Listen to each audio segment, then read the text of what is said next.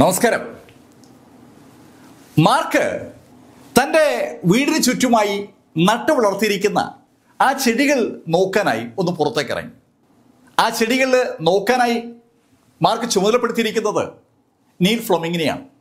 Mark ആ പച്ചക്കറികൾ നട്ടിരിക്കുന്ന ഭാഗത്തേക്ക് വരുമ്പോൾ ശരിക്കും രസകരമായ ഒരു രംഗമാണ് കാണുന്നത്. അവിടെ നീൽ ഫ്ലൊമിങ് ഉണ്ട് നീൽ തറയിൽ കിടക്കുകയാണ്. തറയിൽ കിടക്കുന്ന നീൽ പട്ടി വെള്ളം നക്കി കുടിക്കും പോലെ ആ ചെടികളിലുള്ള ചെറിയ വെള്ളത്തുള്ളികൾ നാക്കുകൊണ്ട് നക്കിയെടുക്കുന്നതാണ് മാർക്ക് കാണുന്നത്. അത് കണ്ട മാർക്ക് നീലിനടുത്തെത്തി നീലോട് ചോദിച്ചു ഏയ് നീൽ എന്താ ഇത്? ഏ മാർക്ക് ഈ വെള്ളത്തുള്ളിയിലൊക്കെ നിറച്ച് സ്പിരിച്വൽ എനർജിയാണ് ശരിക്കും ഇതൊരു സംഭവം തന്നെ. മാർക്ക് ഫെല്ലർ ആ വീടിന് ചുറ്റുമായി ഒരു കളം ഉണ്ടാക്കിയിരിക്കുകയാണ്. ആ കളത്തിനകത്തേക്ക് കിടക്കുന്ന സ്പിരിച്വൽ എനർജിക്ക് പിന്നീട് പുറത്തു പോകാൻ പറ്റില്ല. ആ സ്പിരിച്വൽ എനർജി സ്വാഭാവികമായിട്ടും ആ വെജിറ്റബിൾ ഗാർഡന്റെയും മെഡിസിനൽ ഗാർഡന്റെയും ഇടയിൽ പടരുമ്പോൾ അവിടെ ആ സ്പിരിച്വൽ എനർജി കൊണ്ട് ആ മെഡിസിനൽ പ്ലാന്റ്സും മറ്റ് ചെടികളൊക്കെ തഴച്ചു വളരും. രാത്രി പെയ്യുന്ന മഞ്ഞ് തുള്ളി പോലും ചെടിയിൽ അങ്ങനെ തങ്ങി നിൽക്കും. അതിനകത്തും സ്പിരിച്വൽ എനർജി ഉണ്ടാവും. ഈ ചെടി നനയ്ക്കാനായി നെയിൽ ഫ്ലോമിങ് ഉപയോഗിക്കുന്ന വെള്ളം ചെടികളിൽ പറ്റിയിരിക്കുമ്പോൾ അതിലും സ്പിരിച്വൽ എനർജി ഒന്ന് നിറയും. അത്തരത്തിൽ പറ്റിപ്പിടിച്ചിരിക്കുന്ന വെള്ളമാണ് നീലിപ്പോ നക്കിയെടുക്കുന്നത്. നീൽ പറഞ്ഞത് കേട്ടതും മാർക്ക് നീലിനോട് പറഞ്ഞു നീൽ സത്യമായിട്ടും നിന്നെ ഇപ്പൊ കണ്ട ഒരു പട്ടിയാണെന്നേ പറയത്തുള്ളൂ. മാർക്ക് അത് പറഞ്ഞപ്പോ നീൽ എന്ത് ചിരിച്ചു. ഏയ് മാർക്ക് എന്നെ അങ്ങനെ പറഞ്ഞാലും എനിക്ക് കുഴപ്പമൊന്നുമില്ല. സത്യമായിട്ടും ഈ സ്പിരിച്വൽ എനർജി എന്നെ വല്ലാതെ ആകർഷിക്കുകയാണ്. മാർക്ക് ഫെല്ലർ നീലിനെ പഠിപ്പിച്ചെടുത്ത ആ ബ്രീതിങ് എക്സസൈസ് നീൽ അങ്ങോട്ട് കാര്യമായി ചെയ്തു തുടങ്ങിയിട്ടില്ല. ആ ബ്രീതിങ് എക്സസൈസ് വഴി നീലിന് ചുറ്റുമുള്ള സ്പിരിച്വൽ എനർജി വലിച്ചെടുക്കാൻ പറ്റേണ്ടതാണ്. അതിനേക്കാൾ എളുപ്പം നീലിനിപ്പോ ആ ചെടിയിൽ പറ്റിയിരിക്കുന്ന വെള്ളത്തിൽ നിന്ന് സ്പിരിച്വൽ എനർജി കിട്ടുകയാണ്. നീൽ അതിന്റെ ആഹ്ലാദത്തിലാണ്. അവർ രണ്ടുപേരും കൂടി അങ്ങനെ സംസാരിച്ചുകൊണ്ടിരിക്കുമ്പോൾ ഒരു വാഹനം പുറത്തെത്തി. വാഹനം വന്ന ശബ്ദം കേട്ടതും മാർക്ക് ആ ഗാർഡനിൽ നിന്ന് വീട്ടിനകത്തേക്ക് കടന്നു. മാർക്ക് വീടിന്റെ വാതിൽ തുറക്കുമ്പോൾ മാർക്ക് കാണുന്നത് സാക്ഷാൽ ജിയാങ്കൂവിനാണ്. ജിയാങ്കൂവിനൊപ്പം രണ്ട് ആളുകൾ കൂടിയുണ്ട്. ആ ആളുകളെ കാണുമ്പോൾ തന്നെ അറിയാം അവർ ഏതാണ്ട് ഗ്രാൻഡ് മാസ്റ്റർ ലെവലിലുള്ള ആളുകളാണെന്ന്. അവർ രണ്ടുപേരും അവരുടെ ശരീരത്തിലെ ഇന്റേണൽ ഷീ അഥവാ സ്പിരിച്വൽ എനർജി മറച്ചു വെച്ചിട്ടില്ല. തങ്ങൾ ശക്തരാണെന്ന് അവരെ കാണുന്ന ആർക്കും ബോധ്യമാകണം. അതുകൊണ്ട് തന്നെ അവർ സ്പിരിച്വൽ എനർജി കുറേശ്ശെ റിലീസ് ചെയ്തിട്ടുണ്ട്.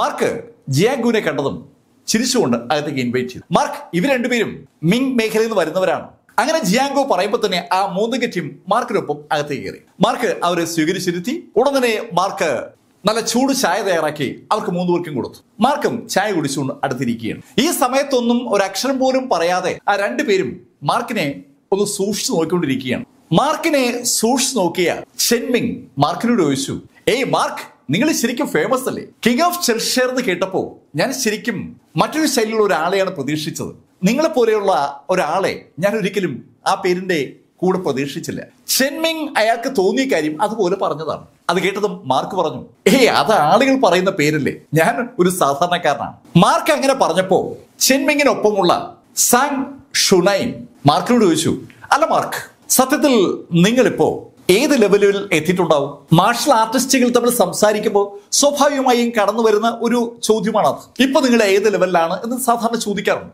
അതിന് ഉടൻ തന്നെ മാർക്ക് മറുപടി പറഞ്ഞു. ഞാനൊരു ഇന്റേണൽ സ്ട്രെങ്ത് മാസ്റ്റർ ആണ്. സിക്സ്ത് ലെവലാണ് ഇന്റേണൽ സ്ട്രെങ്ത് മാസ്റ്റർ സിക്സ്ത് ലെവലാണ് മാർക്ക് എന്ന് കേട്ടതും കുടിച്ചുകൊണ്ടിരുന്ന ചായ അറിയാതെ ഷെങ്ങും അതുപോലെ ചെന്നും തുപ്പിപ്പോവുകയാണ്. അവരൊരിക്കലും പ്രതീക്ഷിച്ചിരുന്നില്ല. മാർക്ക് ഫെലർ ഒരു ഇന്റേണൽ സ്ട്രെങ്ത് മാസം സിക്സ് ആവുമെന്ന് ഇന്റേണൽ സ്ട്രെങ്ത് മാസം സിക്സ് കഴിഞ്ഞ് ഇന്റേണൽ സ്ട്രെങ്ത് മാസ്റ്റർ തന്നെ പിന്നെയും മൂന്ന് ലെവലുണ്ട് ഏഴും എട്ടും ഒൻപതും. അത് കഴിഞ്ഞാണ് മാസ്റ്റർ ഹാൻഡ്സ് ഒൻപത് ലെവൽ അത് കഴിഞ്ഞ് പാസ് മാസ്റ്റർ ഒൻപത് ലെവൽ എന്ന് പറഞ്ഞാൽ മാർക്ക് ഗ്രാൻഡ് മാസ്റ്റർ ആകണമെങ്കിൽ ഇനി ഇരുപത്തൊന്ന് ലെവലിലൂടെ കടക്കണമെന്നാണ്. ഇരുപത്തൊന്ന് ലെവലുകൾക്ക് അപ്പുറത്തുള്ള ജിയാങ് ഗുവിനെ മാർക്ക് ഫെല്ലർ പരാജയപ്പെടുത്തിയതാണ് സോഷ്യൽ മാധ്യമങ്ങളൊക്കെ പറയുന്നത്. അത് ജിയാങ് ഗു സമ്മതിക്കുകയും ചെയ്ത കാര്യമാണ്. ചെൻമെങ്ങിനും ഷാറ്റ് ഷുനൈനും ഇപ്പോ ശരിക്കും ഒരു സംശയമായി ഇന്റർണൽ സ്ട്രെങ്ത് മാസ്റ്റർ സിക്സ് ലെവലിലുള്ള ഒരാൾ എങ്ങനെ ഗ്രാൻഡ് മാസ്റ്റർ പരാജയപ്പെടുത്തുക? ഏയ് മാർക്ക് നിങ്ങൾ എന്താ ഈ പറയുന്നത്? ഒരു ഇന്റർണൽ സ്ട്രെങ്ത് മാസ്റ്റർ സിക്സ് ലെവലിൽ നിൽക്കുന്ന ആൾ ഗ്രാൻഡ് മാസ്റ്ററായ ജിയാങ്കുവിനെ പരാജയപ്പെടുത്തിയെന്നാണല്ലോ ഞങ്ങൾ കേട്ടത്. അതെങ്ങനെ ശരിയാവും?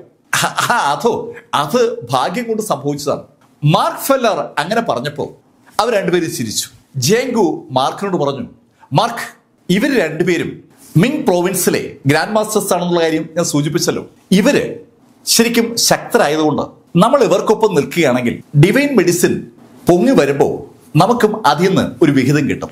ബായ് സിറ്റിയിൽ അടുത്ത ഏതാനും ദിവസങ്ങൾക്കകം ഒരു സംഭവം ഉണ്ടാകുകയാണല്ലോ. ആയിരം വയസ്സെങ്കിലുമുള്ള ഒരു ചെടി ഭൂമിക്കുള്ളിൽ നിന്ന് ഇതാ പൊങ്ങി വരാൻ പോവുകയാണ്. അതിന്റെ പൂവ് ഒരുപാട് ഒരുപാട് ഗുണമേന്മയുള്ള ഔഷധങ്ങൾ ഉണ്ടാക്കാൻ പറ്റിയതാണ്. ആ പൂവിന്റെ ഒരു ഭാഗം ലഭിക്കാൻ ആ ഗ്രാൻഡ് മാസ്റ്റേഴ്സിനൊപ്പം നിന്നാൽ മാർക്കിന് അവസരം കിട്ടുമെന്നാണ് ജിയങ്കു പറയുന്നത്. ജിയങ്കു അത് പറഞ്ഞപ്പോ മാർക്ക് ഒന്ന് പുഞ്ചിരിച്ചു. ആ സമയത്ത് ഷാങ് ഷുനൈൻ മാർക്കിനോട് പറഞ്ഞു ഏ മാർക്ക് ഞങ്ങൾ ഇവിടെ എത്തും വരെ യഥാർത്ഥത്തിൽ കിങ് ഓഫ് ചിൽഷെയർ എന്ന് പറയുന്ന ആൾ ശക്തനാണെന്നാണ് ധരിച്ചിരുന്നത്. ഇതിപ്പോ ഞങ്ങളുടെ വീട്ടിലെ സാധാരണ ജോലിക്കാരും സാധാരണ ആളുകളും ഒക്കെ എത്തുന്ന ഒരു ലെവലിലേ നിങ്ങൾ എത്തിയിട്ടുള്ളൂ. ഈ ചിൽഷെയർ അത്ര മോശം സ്ഥലമാണോ? ഞങ്ങളുടെ മിങ് പ്രോവിൻസിലെ ഒട്ടുമുക്കാൽ ആളുകളൊക്കെയും ഈ ഇന്റർണൽ സ്ട്രെങ്ത് മാസ്റ്റർ ആറും ഏഴും എട്ടും ഒമ്പതും ഒക്കെ കഴിഞ്ഞവരാണ്. അവരെ ഒരുപാട് ഹാൻഡ്സ് മാസ്റ്റേഴ്സ് ഉണ്ട്. ഛേ എനിക്ക് അവിടെ വിശ്വസിക്കാൻ പറ്റുന്നില്ല. ഈ ചിൽഷേർ ഇത്ര ദരിദ്രമാണെന്ന്. അങ്ങനെ ഷാങ് ഷുനൈൻ പറഞ്ഞതും ചെൻമിങ്ങും അതിനെ കൂടെ ചേർന്ന് സംസാരിക്കുകയാണ്. അതെ അതെ. ചിൽഷേർ തീരെ മോശം തന്നെ. ചിൽഷേറിൽ ശക്തിയുള്ള ആരുമില്ല. വീടിനകത്തേക്ക് കടന്നു വന്നിരിക്കുന്ന അവർ രണ്ടുപേരും മാർക്ക് ഫെല്ലർക്ക് വേണ്ടത്ര വില കൊടുക്കുന്നില്ല എന്നുള്ള യാഥാർത്ഥ്യം ജിയാങ്കുവിന് മനസ്സിലാവുന്നുണ്ട്. ജിയാങ്കു അവരോട് പറഞ്ഞു ഏയ് നിങ്ങൾ പറയും പോലെയൊന്നും അല്ല. മാർക്ക് ശരിക്കും ശക്തനാണ്. ഏയ് ജിയാങ് നിങ്ങൾ എന്തുകൊണ്ടാണ് ഈ മാർക്കിനെ സപ്പോർട്ട് ചെയ്ത് സംസാരിക്കുന്നതെന്ന് എനിക്കറിയത്തില്ല. എന്റെ ഒരു വിലയിരുത്തലനുസരിച്ച് ഞാനൊന്ന് വിരൽ ഞൊടിച്ചാൽ തീരാവുന്നതേ ഉള്ളൂ മാർക്ക് ഫെല്ലർ. അങ്ങനെ പറഞ്ഞിട്ട് ഷാങ് ഷുണൈൻ ഒന്ന് എണീറ്റു. എണീറ്റ് നിന്ന ഷാക്ഷുനെ അയാളുടെ കൈ രണ്ടും ചുമ്മാ ഒന്ന് വിടർത്തി. ശരിക്കും എക്സസൈസ് ചെയ്യാൻ തുടക്കമിടുന്ന ശൈലിയിൽ അയാൾ കൈ ഒന്ന് വിടർത്തുമ്പോൾ അയാൾക്ക് ചുറ്റും ഒരു ഊർജത്തിന്റെ പ്രസരണം ആ മുറിയിൽ സകലർക്കും അനുഭവപ്പെടുന്നുണ്ട്. ആ മുറിയിലേക്ക് കടന്നു വന്നിരിക്കുന്ന നീൽ ഫ്ലോമിങ്ങിനും ആ പ്രശ്നം അനുഭവപ്പെടുകയാണ്. ഷാങ് ഷുനൈൻ അയാളുടെ ശരീരത്തിൽ നിന്ന് അയാളുടെ ഇന്റേണൽ ഷീ സാവധാനം റിലീസ് ചെയ്ത് തുടങ്ങിയാണ്. അയാളുടെ സ്പിരിച്വൽ റിലീസ് ചെയ്തപ്പോൾ മാർക്ക് ഫെല്ലർ എണീറ്റു. മാർക്ക് ഫെല്ലർ ഷാക് ഷുനൈനോട് പറഞ്ഞു നോക്ക് ഞാൻ യഥാർത്ഥത്തിൽ നിങ്ങളുമായിട്ടൊക്കെ സഹകരിക്കാം എന്ന് കരുതിയതാണ്. പക്ഷേ എനിക്കിപ്പോ തോന്നുന്നത് അതിന്റെ ആവശ്യമില്ലെന്നാണ്. നിങ്ങൾ ദയവായി ഇവിടുന്ന് പുറത്തേക്ക് പോകണം മാർക്ക് ഫെല്ലർ അപ്രതീക്ഷിതമായിട്ട് ആ വാചകം പറഞ്ഞപ്പോ ജിയാങ്കു ആണ് ഞെട്ടിയത്.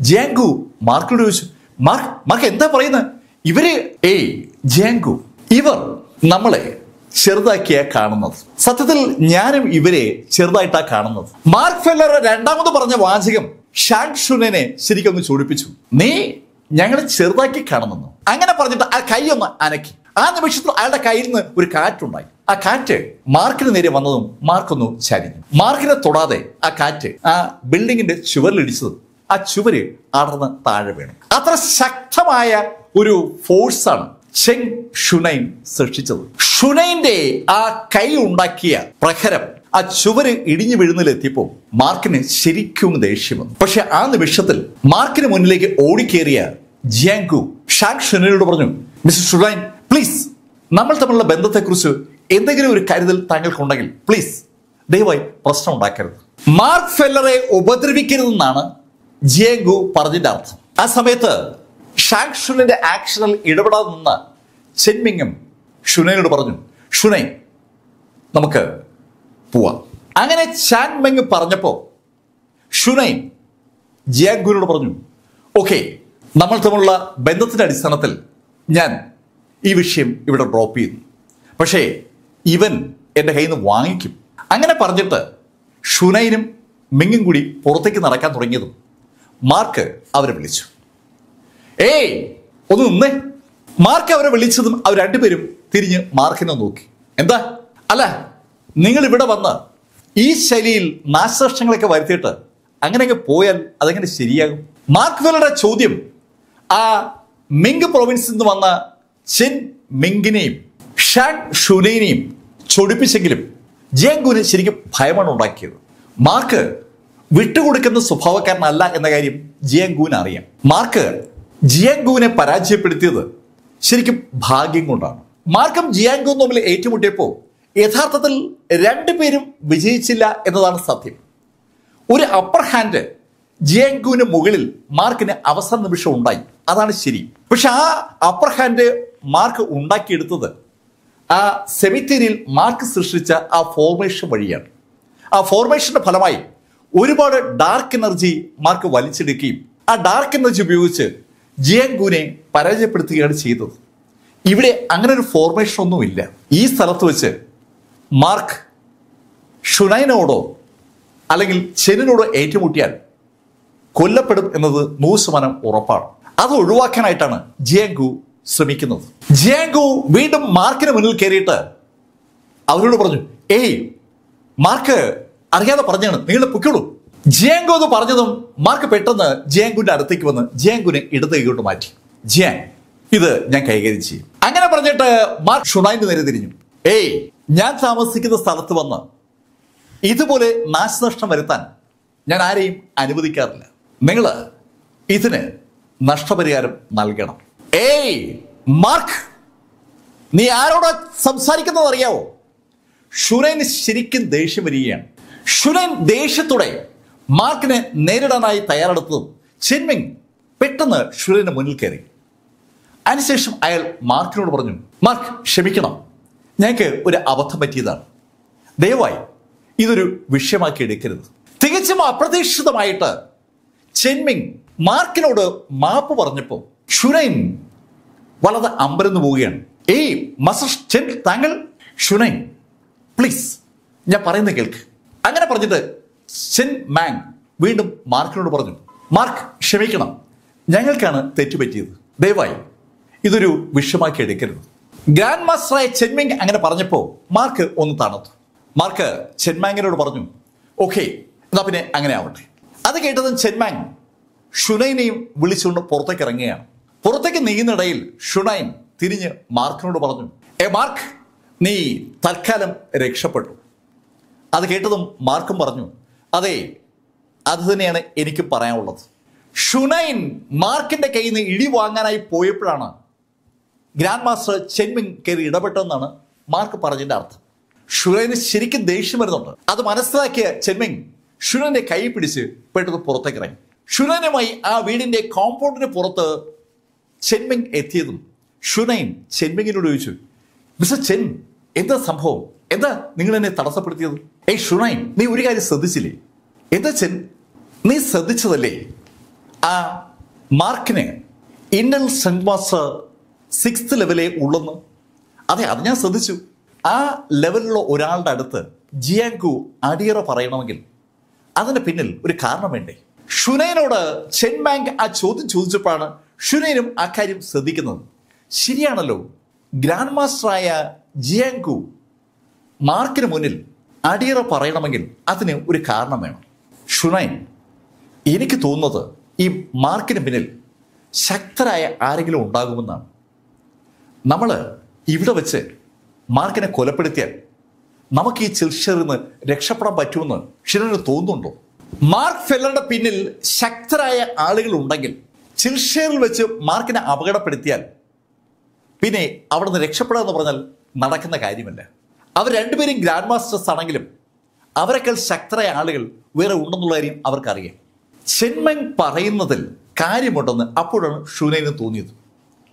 ഏയ് ചെന്മങ് താങ്കൾ പറയുന്നത് ശരി തന്നെയാണ്. പക്ഷേ അവന്റെ ആ അഹങ്കാരം അതങ്ങ് സമ്മതിച്ചു കൊടുക്കുന്ന എങ്ങനെയാണ്? ഏയ് ചെന്മങ് അതിന് ഒരു അവസരം വരികയാണ്. ഇപ്പോൾ ആ ഡിവൈൻ മെഡിസിൻ ഏതാനും ദിവസങ്ങൾക്കകം പൊങ്ങി വരുമല്ലോ.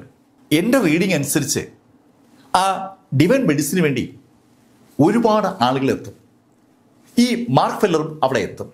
ആ തിരക്കിനിടയിൽ മാർക്കിനെ നമ്മൾ തട്ടിയാൽ നമ്മളാണ് മാർക്കിനെ കൊന്നതെന്ന് ആരും കണ്ടുപിടിക്കത്തില്ല. മാർക്കിനെ സംരക്ഷിക്കുന്നവർക്ക് പോലും അത് കണ്ടുപിടിക്കാൻ പറ്റില്ല. പറ്റിയ അവസരമാണ് വരുന്നത്. അതുവരെ നമ്മൾ നിശബ്ദരായിരുന്നാൽ മതി. ചെൻമിങ് പറഞ്ഞപ്പോൾ ഷുരൈനും അത് കാര്യമുണ്ടെന്ന് മനസ്സിലായി. ഷുരൈൻ ചെൻമിങ്ങിനോട് പറഞ്ഞു മിസ്റ്റർ ചെൻ സത്യമായിട്ടും നിങ്ങൾ പറഞ്ഞപ്പോഴാണ് ഞാനും ആ കാര്യം ആലോചിക്കുന്നത് നമുക്ക് വെയിറ്റ് ചെയ്യാം. ആ മാർക്കിനെ ഞാൻ എന്തായാലും വെറുതെ വിടത്തൊന്നുമില്ല. അവർ രണ്ടുപേരും അങ്ങനെ സംസാരിച്ചുകൊണ്ട് ഹോട്ടലിലേക്ക് നടക്കുമ്പോൾ വീടിനകത്ത് ജേങ്കു മാർക്കിനോട് സംസാരിക്കുകയാണ്. മാർക്ക് അപ്പോൾ നമുക്ക് ഇനി ആ ഡിവൈൻ മെഡിസിൻ നേടാനേ പറ്റത്തില്ല. അവർ രണ്ടുപേരും നമുക്കെതിരായിരിക്കുന്നതുകൊണ്ട് ഒരു കാരണവശാലും അവരെ എതിർത്ത് നമുക്ക് ആ മരുന്ന് നേടാൻ പറ്റില്ല. ഏ ജിയങ് അങ്ങനെയല്ല അതിനെ കാണേണ്ടത്. നമ്മൾ ആ ഡിവൈൻ മരുന്ന് പൊങ്ങി വരുമ്പോൾ അത് നേടാൻ ശ്രമിക്കും. സ്വാഭാവികമായിട്ടും അതിൽ താല്പര്യമുള്ള മറ്റുള്ള ആളുകൾ ശ്രമിക്കും. നമുക്ക് പറ്റുമെങ്കിൽ നമ്മളത് നേടും. അതിന് നമ്മൾ അവരെ ഭയക്കേണ്ട കാര്യമൊന്നുമില്ല. അല്ല മാർക്ക് ഞാൻ പറഞ്ഞത് എന്തെന്ന് വെച്ചാൽ അവർ അതിശക്തരാണ്. അതുകൊണ്ടാണ്. ഏയ് ജിയാങ് അവർ ശക്തരാണ് എന്നുള്ളതൊന്നും നമ്മുടെ വിഷയമല്ല. നമ്മുടെ ലക്ഷ്യം ആ മരുന്നാണ്. ഞാൻ എന്തായാലും അവിടെ പോകും ആ മരുന്ന് നേടുകയും ചെയ്യും. അല്ല ജിയാങ്ങിന് എന്തെങ്കിലും അഭിപ്രായ വ്യത്യാസം ഉണ്ടെങ്കിൽ എന്നോട് വരണമെന്നില്ല. ഞാൻ ഒറ്റയ്ക്ക് പൊയ്ക്കോളാം. മാർക്ക് ഫെല്ലർ അയാളുടെ അഭിപ്രായം വ്യക്തമാക്കിയതും ജിയാങ് രണ്ടാമതൊന്ന് ആലോചിക്കാതെ മാർക്കിനോട് പറഞ്ഞു മാർക്ക് ഞാൻ മാർക്കിനൊപ്പം നിൽക്കാമെന്ന് പറഞ്ഞത് വെറുതെയല്ല. വിജയത്തിലാണെങ്കിലും പരാജയത്തിലാണെങ്കിലും ഞാൻ കൂടെ ഉണ്ടാവും. ഡിവൈൻ മരുന്ന് നേടാൻ മാർക്ക് പോവുകയാണെങ്കിൽ ഞാൻ ഉറപ്പായി കൂടെ കാണും. ആരെ നിർത്താലും മാർക്കിനൊപ്പം നിൽക്കുമെന്ന് ജേങ്കു ഏതാണ്ട് തീർച്ചപ്പെടുത്തിയിരിക്കുകയാണ്. അയാൾ ഒരു തീരുമാനമെടുത്താൽ അതിൽ നിന്ന് അണുവിട മാറാത്ത കക്ഷിയാണ്. ജിയാങ്കുവിന്റെ ആ ഉറച്ച തീരുമാനം സ്വാഭാവികമായും മാർക്ക് ഫെല്ലറെ ഒന്ന് ആകർഷിച്ചിട്ടുണ്ട്. ജിയാങ്കുവിന്റെ ആ രീതി മാർക്കിനും ഒരു പാഠമാണ്. മാർക്ക് ഫെല്ലറും ജിയാങ്കും കൂടി അങ്ങനെ സംസാരിക്കുന്ന അതേ സമയത്ത് ബായ് സിറ്റിയിലെ ഒരു റെസ്റ്റോറന്റിൽ ഡോക്ടർ ഡോങ്ങും അയാളുടെ ശിഷ്യന്മാരും സംസാരിച്ചുകൊണ്ടിരിക്കുകയാണ്. ഡോങ്ങിനോടായി അയാളുടെ ശിഷ്യം പറഞ്ഞു മാസ്റ്റർ ഈ ബായ് സിറ്റിയിലേക്ക് എല്ലാ മേഖലയിൽ നിന്നും ആളുകൾ എത്തിയിരിക്കുകയാണ്. ഒരുപാട് ഗ്രാൻഡ് മാസ്റ്റേഴ്സാണ് എത്തിയിരിക്കുന്നത്. ഈ ഗ്രാൻഡ് മാസ്റ്റേഴ്സൊക്കെ ഇവിടെ വന്ന സ്ഥിതിക്ക് നമ്മൾ ആ മാർഷൽ ആർട്സ് അസോസിയേഷനെ ആശ്രയിക്കുന്നുണ്ട് ഒരു കാര്യവുമില്ല. മാർഷൽ ആർട്സ് അസോസിയേഷനിലെ ആളുകളുടെ പരമാവധി ലെവൽ എന്ന് പറയുന്നത് പാസ്റ്റ് മാസ്റ്ററാണ് അതിന് മുകളിലുള്ള ആരും ചിർഷറിലെ മാർഷൽ ആർട്സ് അസോസിയേഷനിലില്ല അക്കാര്യം ഡോക്ടർ ഡോങ്ങിനും ശിഷ്യന്മാർക്കും അറിയാം. ആ ശിഷ്യ എങ്ങനെ പറഞ്ഞതും ഡോങ് ടിയാൻ ഹൈ അവരോട് പറഞ്ഞു ഏയ് ഞാൻ ഈ അസോസിയേഷനെ നമ്മളെ കൂടെ നിർത്തുന്നതിന്റെ കാരണം അവരുടെ ശക്തി മാത്രമല്ല അവരുടെ ബന്ധങ്ങൾ കൂടിയാണ്. ഈ കാലഘട്ടത്തിൽ ശരീരശക്തി മാത്രം പോരാ നമുക്ക് വിജയിക്കാൻ. അതിന് കണക്ഷൻസ് വേണം സമ്പത്ത് വേണം രാഷ്ട്രീയ അധികാരം വേണം. അതൊക്കെ ഈ മാർഷലസ് അസോസിയേഷനുണ്ട് നമ്മൾ അതുപയോഗിച്ചാണ് കളിക്കേണ്ടത്. ഡോക്ടർ ഡോൺ ടിയാൻ ഹെയ്ക്ക് അയാളുടേതായ വ്യക്തമായ പ്ലാനുണ്ട്. മാർഷൽ അസോസിയേഷനെ ഒരു ഗവൺമെന്റ് സ്ഥാപനമായിട്ടാണ് പലരും കാണുന്നത്. യഥാർത്ഥത്തിൽ അവർ ഒരു നോൺ ഗവൺമെന്റൽ ഓർഗനൈസേഷനാണ് ഒരു സന്നദ്ധ സംഘടനയാണ്. പക്ഷെ അവരുടെ മട്ടും ഭാവവും അവരുടെ തന്നെ സ്വന്തം ജയിലും കാര്യങ്ങളൊക്കെ ആളുകളിൽ ഒരു ധാരണ പിശക്ക് ഉണ്ടാക്കിയിട്ടുണ്ട്. അവരാണ് നിയമം എന്നാണ് പലരും ധരിച്ചു വച്ചിരിക്കുന്നത്. ഗവൺമെന്റുമായി ബന്ധപ്പെട്ട ആളുകൾ പലപ്പോഴും അവരുടെ കാര്യത്തിൽ ഇടപെടാറുമില്ല. അതുകൊണ്ട് കൂടിയാണ് സാധാരണ ജനങ്ങളുടെ മനസ്സിൽ അങ്ങനെ ഒരു ധാരണ വന്നിട്ടുള്ളത്. ആ ധാരണ ആളുകളുടെ മനസ്സിലുള്ളത് കൊണ്ട് അസോസിയേഷനെ കാര്യമായി ഉപയോഗിക്കാമെന്നാണ് ഡോങ് ടിയാൻ ഹൈയുടെ അഭിപ്രായം. ഡോക്ടർ ഡോങ് ടിയാൻ ഹൈൻ ടീമും ഡിവൈൻ മെഡിസിൻ പൊങ്ങി വരുന്ന ആ ഡേറ്റിന് വേണ്ടി അങ്ങനെ കാത്തിരിക്കുമ്പോൾ ബായ് സിറ്റിയിലേക്ക് പല മേഖലകളിൽ നിന്നും ആളുകൾ ഒഴുകി വന്നു തുടങ്ങി. അങ്ങനെ ആ ദിവസം എത്തി. മാർക്ക് ഫെല്ലർ രാവിലെ വീട്ടിൽ നിന്നിറങ്ങുമ്പോൾ നീൽ ഫ്ലോബിക്കിനോട് പറഞ്ഞു നീൽ ഈ ചെടിക്ക് വെള്ളം ഒഴിക്കുന്ന കാര്യം മാത്രം നീ മറക്കരുത്. ഈ ചെടികൾ ശരിക്കും ശ്രദ്ധിച്ചു നോക്കണം. മാർക്ക് അതേക്കുറിച്ച് ആലോചിച്ച് ടെൻഷനേ വേണ്ട. അവിടെയുള്ള ഹെർബ്സ് ഒക്കെ ഏതാണ്ട് നീൽ ഫ്ലോമിങ്ങിന്റെ മുട്ടൊപ്പം വളർന്നിട്ടുണ്ട്.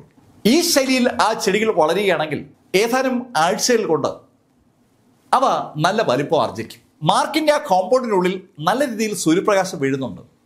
അതുപോലെ തന്നെ അതിനകത്ത് നിറയെ സ്പിരിച്വൽ എനർജിയുമാണ് ഇത് രണ്ടും ആ ചെടികൾക്ക് ഇഷ്ടം പോലെ ലഭിക്കുന്നതുകൊണ്ട് ചെടികൾ തഴച്ച് കൊഴുത്തു വളരുകയാണ്. ആ ചെടികളെ നന്നായി സംരക്ഷിക്കണമെന്നാണ് നീൽ ഫ്ലോമിങ്ങിനോട് മാർക്ക് പറഞ്ഞത്.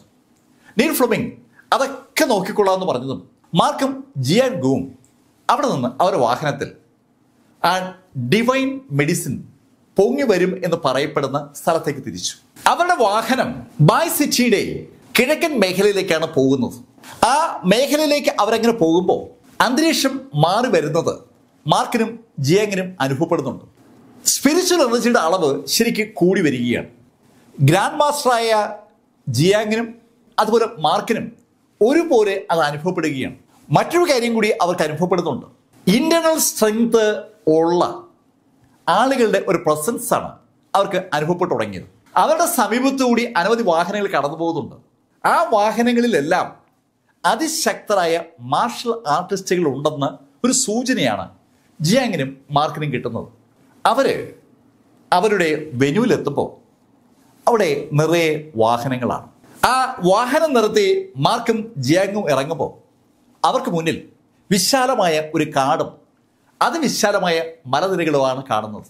ആ മലകളും കാടും ഒക്കെ ശരിക്കും ആളുകളെ ആകർഷിക്കുന്ന ഒരു സംഭവം തന്നെയാണ്. ആ കാട്ടിനകത്ത് ഏകദേശം ഒരു ആറേഴ് മീറ്റർ മുകളിലായി നല്ല കടുത്ത മൂടൽ മഞ്ഞാണ് നമ്മൾ കാണുന്നത്. സ്പിരിച്വൽ എനർജിയുടെ വൻ ശേഖരം ആ മരങ്ങളുടെ മുകൾ ഭാഗത്തായി കാണപ്പെടുന്നുണ്ട്. അതുകൊണ്ട് തന്നെ അവിടെ എത്തിയിരിക്കുന്ന ആളുകളൊക്കെ വല്ലാത്തൊരു അമ്പരപ്പോടു കൂടിയാണ് കാട്ടിനകത്തേക്ക് നോക്കുന്നത്. ഉറപ്പായിട്ടും ആ അത്ഭുത സസ്യം ഇവിടെ പ്രത്യക്ഷപ്പെടുക തന്നെ ചെയ്യും. ആ കാഴ്ച കാണുന്ന ഏതൊരാളും അറിയാതെ അങ്ങനെ പറഞ്ഞു പോകും. കാരണം അത്രയേറെ കട്ടിയിൽ ആ ഭാഗം മുഴുവൻ സ്പിരിച്വലോളജി അവർക്ക് അനുഭവപ്പെടുകയാണ്. സ്പിരിച്വൽ എനർജിയെ കുറിച്ച് അറിഞ്ഞുകൂടാത്ത ആളുകൾക്ക് പോലും അവിടെ ഒരു പ്രത്യേകത ഫീൽ ചെയ്യുന്നുണ്ട്. അവരെ കാണുന്നത് ഒരു മൂടൽ മഞ്ഞ് ആ മേഖലയിൽ പരന്നു കിടക്കുന്നതായിട്ടാണ്. ഒരു തണുപ്പും അവിടേക്ക് അനുഭവപ്പെടുന്നുണ്ട്. മാർക്കും ജിയാങ് കൂടി ആ വനത്തിനകത്തേക്ക് അടക്കുന്ന ഗേറ്റിന്റെ ഭാഗത്തേക്ക് വരുമ്പോൾ അവിടെ ഇഷ്ടംപോലെ ആളുകൾ കൂടി നിൽക്കുകയാണ്. മാർക്ക് ജിയാങ്കൂവിനൊപ്പം ആ എൻട്രൻസിന്റെ ഭാഗത്തേക്ക് നടക്കുമ്പോൾ പെട്ടെന്നാണ് ചില ആളുകൾ മാർക്കിനെ കണ്ട് മാർക്കിനടുത്തേക്ക് വന്നത്. ഏയ് നിങ്ങളെ king of Cheshire Mark Fuller അല്ലേ? അപ്രതീക്ഷിതമായ ആ ചോദ്യം കേട്ടപ്പോൾ മാർക്ക് ഒന്ന് അമ്പരുന്നു. മാർക്കിനെ എന്ത് മറുപടി പറയണമെന്ന് അറിയാൻ കഴിയാത്ത ഒരു സാഹചര്യമാണ്. ആളുടെ ശ്രദ്ധയപ്പെടാതെ വനത്തിനകത്തേക്ക് അടക്കണമെന്നാണ് മാർക്ക് യഥാർത്ഥത്തിൽ കരുതിയിരുന്നത്. പക്ഷേ മാർക്ക് അവിടെ ഇറങ്ങി. ഏതാനും സ്റ്റെപ്പ് നടന്നപ്പോൾ തന്നെ ഇതാ മാർക്കിനെ ആളുകൾ തിരിച്ചറിഞ്ഞിരിക്കുകയാണ്. കിങ് ഓഫ് ചെൽഷെയർ എന്ന ആ ടൈറ്റിൽ തനിക്കൊരു പാരയാണ്. അങ്ങനെ തോന്നലാണ് മാർക്കിന് പെട്ടെന്ന് ഉണ്ടായത്. ആ ചെറുപ്പക്കാരന്റെ ചോദ്യത്തിന് ചിരിച്ചുകൊണ്ട് മാർക്ക് മറുപടി പറഞ്ഞു. ആ ഞാൻ മാർക്ക് ഫെല്ലർ തന്നെയാണ്. അങ്ങനെ പറഞ്ഞിട്ട് മാർക്ക് മുന്നോട്ട് നടക്കുമ്പോൾ ജിയങ്കു മാർക്കിനോട് പറഞ്ഞു മാർക്ക് ദോ ആ വലതു ഭാഗത്തായി നാലാളുകളെ കണ്ട. മാർക്ക് നോക്കുമ്പോൾ നാല് ചെറുപ്പക്കാർ അവർക്ക് നേരെ നടന്നു വരുന്നുണ്ട് ആ നാല് പേരെയും ഒരു പേരില ആളുകൾ അറിയുക. മെങ്കിലെ ജീനിയസുകൾ എന്നാണ് അവരെ വിളിക്കുക. ചിൽഷേറിനേക്കാളും രണ്ടിരട്ടി വലിപ്പമുള്ള കൂറ്റൻ സ്റ്റേറ്റ് ആണ് മിങ്ക് എന്ന് പറയുന്നത്. ആ പ്രോവിൻസിലെ ജീനിയസുകൾ എന്നറിയപ്പെടുന്ന നാല് പേരാണ് മാർക്കിനെതിരെ നടന്നു വരുന്നത്. അവർ മാർക്കിനടുത്തെത്തിയതും അതിന്റെ ലീഡർ എന്ന് പറയുന്ന ആൾ മാർക്കിനോട് പറഞ്ഞു മിസ്റ്റർ മാർക്ക് ഫില്ലർ അല്ലേ? അതെ. മാർക്ക് എന്റെ പേര് ജിൻസൺ. ഞാൻ മിങ് പ്രൊവിൻസിൽ നിന്നാണ് വരുന്നത്. ഹലോ ജിൻസൺ പരിചയപ്പെട്ടതിൽ സന്തോഷം. അങ്ങനെ മാർക്ക് പറയുമ്പോൾ ആ നാല് പേരിലെ ഏക പെൺതിരിയായ യുവതി മാർക്കിനോട് പറഞ്ഞു എന്റെ പേര് വിനീഷ് ഷാങ്ക് മാർക്ക് നിങ്ങളെ പരിചയപ്പെടാൻ കഴിഞ്ഞതിൽ എനിക്ക് സന്തോഷമുണ്ട്. വിനീഷ് ഷാങ്ക് അങ്ങനെ പറഞ്ഞതും അടുത്ത ആൾ മാർക്കിനെ പരിചയപ്പെട്ടു. ഏ മാർക്ക് ഞാൻ ഡുവൻ ഷെയ്ൻ സത്യമായിട്ടും നിങ്ങൾ എനിക്കൊരു അതിശയമാണ്. നിങ്ങളെപ്പോലുള്ള ഒരാളെ എങ്ങനെയാണ് ഈ ചിൽഷറിലെ ആളുകൾ കിങ് ഓഫ് ചിൽഷർ എന്നൊക്കെ വിളിക്കുക? എനിക്ക് സത്യത്തിൽ അത് കേട്ടപ്പോൾ വളരെ അതിശയം തോന്നുകയാണ്. നിങ്ങൾ വെറും ഒരു ഇന്നസെന്റ് മാസ്റ്ററാണ് ഇത്ര താഴ്ന്ന ലെവലിൽ നിൽക്കുന്ന ഒരാളെ ഈ ചിൽഷറിലെ രാജാവായിട്ടൊക്കെ ആളുകൾ കാണുക എന്ന് പറയുമ്പോൾ ആളുകളുടെ തലയ്ക്ക് വല്ല കുഴപ്പമുണ്ടെന്നാണ് ഞാൻ ആലോചിക്കുന്നത്. അതോ ഇനി പൊട്ടക്കിണറ്റിലെ തവളെ പോലെ നിങ്ങളാണോ ഇവിടുത്തെ സംഭവം? ചിൽഷറിൽ നിന്ന് വളരെ ദൂരെയുള്ള ഒരു സ്റ്റേറ്റ് ആണല്ലോ ഈ മിങ്ക്. ആ മിങ്ക് സ്റ്റേറ്റിലെ ജീനിയസിൽ എന്നറിയപ്പെടുന്ന നാല് പേരിൽ ഒരാളായ ഡുവാൻ ഷെയ്ൻ അത് പറഞ്ഞപ്പോൾ മാർക്ക് ഡുവാനോട് പറഞ്ഞു. നോക്ക് ആളുകൾ എന്നെ ഏത് പേര് വിളിക്കുന്നു എന്നുള്ളത് ആളുകളുടെ മാത്രം ചോയ്സാണ് അതിനകത്ത് എനിക്ക് ഒന്നും ചെയ്യാൻ പറ്റില്ല. മാർക്ക് അങ്ങനെ പറഞ്ഞിട്ട് അവരെ ഒഴിവാക്കി മുന്നോട്ട് നടന്നു തുടങ്ങി. മാർക്ക് അങ്ങനെ അവരെ ഒഴിവാക്കി നടക്കുന്ന കണ്ടതും ഡുവാൻ ഷൈ പെട്ടെന്ന് മാർക്കിന്റെ മുന്നിലോട്ടൊന്ന് കയറി ഏയ് മാർക്ക് ഫലാർ അങ്ങനെ അങ്ങ് പോകാതെ. നിങ്ങൾ വലിയ രാജാവതൊക്കെ അറിയപ്പെട്ടിട്ട് ഇങ്ങനെ അങ്ങ് പോയാലോ? മാർക്കിനെ തടസ്സപ്പെടുത്തിക്കൊണ്ട് ഡുവാൻ ഷെയ്ൻ മാർക്കിന്റെ മുന്നിൽ കയറി നിന്നിട്ട് മാർക്കിനോട് പറഞ്ഞു ഏയ് മാർക്ക് നിങ്ങൾ കിങ് ഓഫ് ചിൽഷറെങ്കിൽ അത് ആളുകളൊന്ന് കാണട്ടെ. അങ്ങനെ പറഞ്ഞിട്ട് ഡുവാൻ ഷെയ്ൻ അയാളെ കൈ ഒന്ന് പുറകോട്ടെടുത്തു. പുറകോട്ടെടുത്ത ഡുവാൻഷെയിൻ ആ കൈ ശക്തമായി മാർക്കിന് നേരെ കൊണ്ടുവരികയാണ്. ഒരൊറ്റ ഇടി.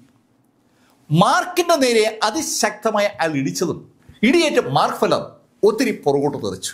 തികച്ചും അപ്രതീക്ഷിതമായി മിങ്കിലെ ആ ജീനിയസുകളിൽ ഒരാൾ ഒറ്റയിടിക്ക് കിങ് ഓഫ് ചിൽഷെയർ എന്നറിയപ്പെടുന്ന മാർക്ക് ഫെലറെ തെറിപ്പിച്ചപ്പോൾ ആ കാഴ്ച കണ്ടുകൊണ്ട് നിൽക്കുന്ന ആളുകളെല്ലാം ഒന്ന് ഞെട്ടി. ആദ്യം ആളുകൾക്കൊരു അമ്പരപ്പായിരുന്നു. കിങ് ഓഫ് ചിൽഷെയർ ഒരു സംഭവമാണെന്ന് അവരൊക്കെ സോഷ്യൽ മാധ്യമങ്ങളിലൂടെ വായിച്ച് അറിഞ്ഞവരാണ്. ആ കിങ് ഓഫ് ചിൽഷെയർ ആണ് ഇതാ ഒരു ചെറുപ്പക്കാരനെ ഇടിയേറ്റ് തെറിച്ച് ദൂരേക്ക് വീണത്. പെട്ടെന്ന് ആളുകൾ അറിയാതെ പറഞ്ഞു പോവുകയാണ്. ഷേ ഈ കിങ് ഓഫ് ചിൽഷെയർ എന്ന് പറയുന്നത് ഇത്രയും ഉള്ള ഈ കക്ഷിയാണോ ആളുകൾ ചിൽഷറിലെ രാജാവെന്നൊക്കെ വിളിച്ചത്?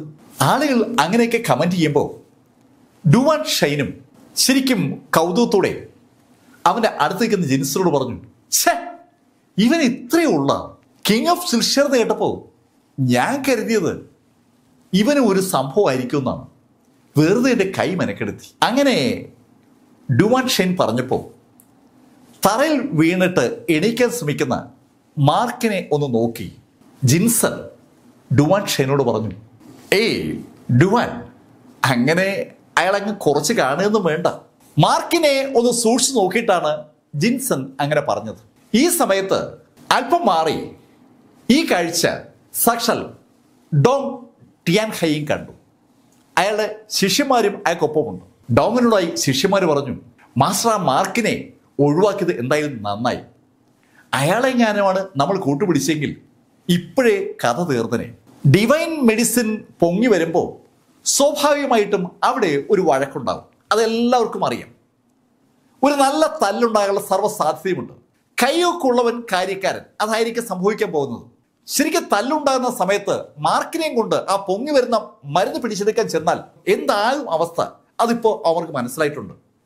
ആദ്യത്തെ അടിയിൽ തന്നെ മാർക്ക് താഴെ വീഴും. അതിന്റെ ഒരു ലക്ഷണമാണ് അവരിവിടെ കാണുന്നത്.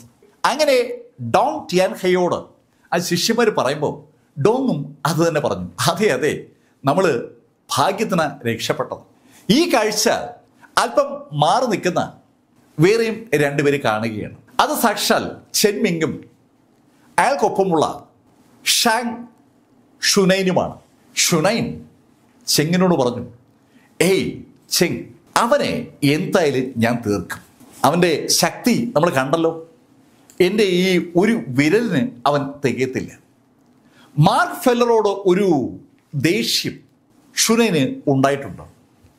മാർക്ക് ഷുനൈനെയും ചെന്നിനെയും അയാളുടെ വീട്ടിൽ നിന്ന് ഇറക്കി വിട്ടത് അവർക്ക് രണ്ടുപേർക്കും അവിടെ മറക്കാൻ പറ്റുന്ന കാര്യമല്ല. ഇതേ ശൈലിയിൽ അവിടെ കൂടി നിൽക്കുന്ന പല ആളുകളും സംസാരിക്കുന്നുണ്ട്. മാർക്കിനോട് ഒരു എതിർപ്പും ഇല്ലെങ്കിലും മാർക്കിനെ തോപ്പിച്ചാൽ കിങ് ഓഫ് ചിൽഷെയർ ആകാമെന്ന് മനസ്സിലാക്കിയ ആളുകളും ആ കൂട്ടത്തിലുണ്ട്. കിങ് ഓഫ് ചിൽഷെയറിനെ അവിടെ വെച്ച് തോൽപ്പിച്ചാൽ സ്വാഭാവികമായിട്ടും അവരായിരിക്കും അടുത്ത കിങ് ഓഫ് ചിൽഷെയർ അത് വെറും ഒരു ടൈറ്റിൽ ആണെങ്കിൽ പോലും ആ ടൈറ്റിലിന് വല്ലാത്തൊരു വിലയുണ്ട്. അതൊരു ഗമയാണ്. ആളുകൾ അങ്ങനെ പല ശൈലിയിൽ സംസാരിക്കുമ്പോൾ ജിയാങ്കു ഓടി മാർക്കിനടുത്തെത്തി മാർക്ക് എന്തെങ്കിലും കുഴപ്പമുണ്ടായോ? ഹേയ് ജിയാങ് കുഴപ്പമൊന്നുമില്ല. മാർക്ക് ഞാൻ പറഞ്ഞല്ലേ? അവരോട്ടൊന്നും എതിർക്കാൻ നമുക്ക് പറ്റത്തില്ല. അങ്ങനെ ജിയാങ്കു മാർക്കിനോട് പറയുമ്പോൾ മാർക്ക് എണീറ്റ് അയാളുടെ പുറത്തെ പൊടിയൊക്കെ തട്ടുകയാണ്. മാർക്കിന്റെ കണ്ണുകളിൽ ശരിക്കും ഒരു പുഞ്ചിരിയുണ്ട്. ചുണ്ടിൽ ആ പുഞ്ചിരി അങ്ങനെ വിരിഞ്ഞു വരികയാണ്. ഈ സമയത്ത് ആ നാൽവർ സംഘത്തിലെ ഏക പെൺതിരിയായ വിനി ഫാങ് മാർക്കിനടുത്തെത്തി മാർക്ക് ആ ദേഹത്തുള്ള പൊടിയൊക്കെ തട്ടപ്പോൾ വിനി മാർക്കിന്റെ നെഞ്ചിലോട്ട് കൈവച്ചു. വിനി മാർക്കിന്റെ നെഞ്ചിൽ കൈവച്ച ആ നിമിഷത്തിൽ മാർക്ക് ഒന്ന് ഞെട്ടി എന്ന് തന്നെ പറയാം. ശരിക്കും ഒരു അമ്പരപ്പ് മാർക്കിനുണ്ടായി. വിനിയുടെ കയ്യിലൂടെ സ്പിരിച്വൽ എനർജി മാർക്കിന്റെ ശരീരത്തിലേക്ക് പ്രവേശിച്ചു തുടങ്ങി. ഏതാനും മിനിറ്റ് നേരം വിനി ആ കൈ എങ്ങനെ വെച്ചു? അതിനുശേഷം വിനി കൈയെടുത്തു മാർക്ക് പെട്ടെന്ന് വിനോട് ചോദിച്ചു പോവുകയാണ്. ഏയ് വിനി അപ്പോൾ ഞാൻ മാത്രമല്ല സ്പിരിച്വൽ എനർജി ഉപയോഗിച്ച് കൾട്ടിവേഷൻ നടത്തുന്നത്? അത് കേട്ടപ്പോൾ വിനി ഒന്ന് ചിരിച്ചു. മാർക്ക് അത് പിന്നെ അങ്ങനെയല്ലേ? അനവധി ആളുകൾ സ്പിരിച്വൽ എനർജി ഉപയോഗിക്കുന്നുണ്ട്. മാർക്ക് എഴുതി മാർക്ക് മാത്രമാണെന്നല്ലേ?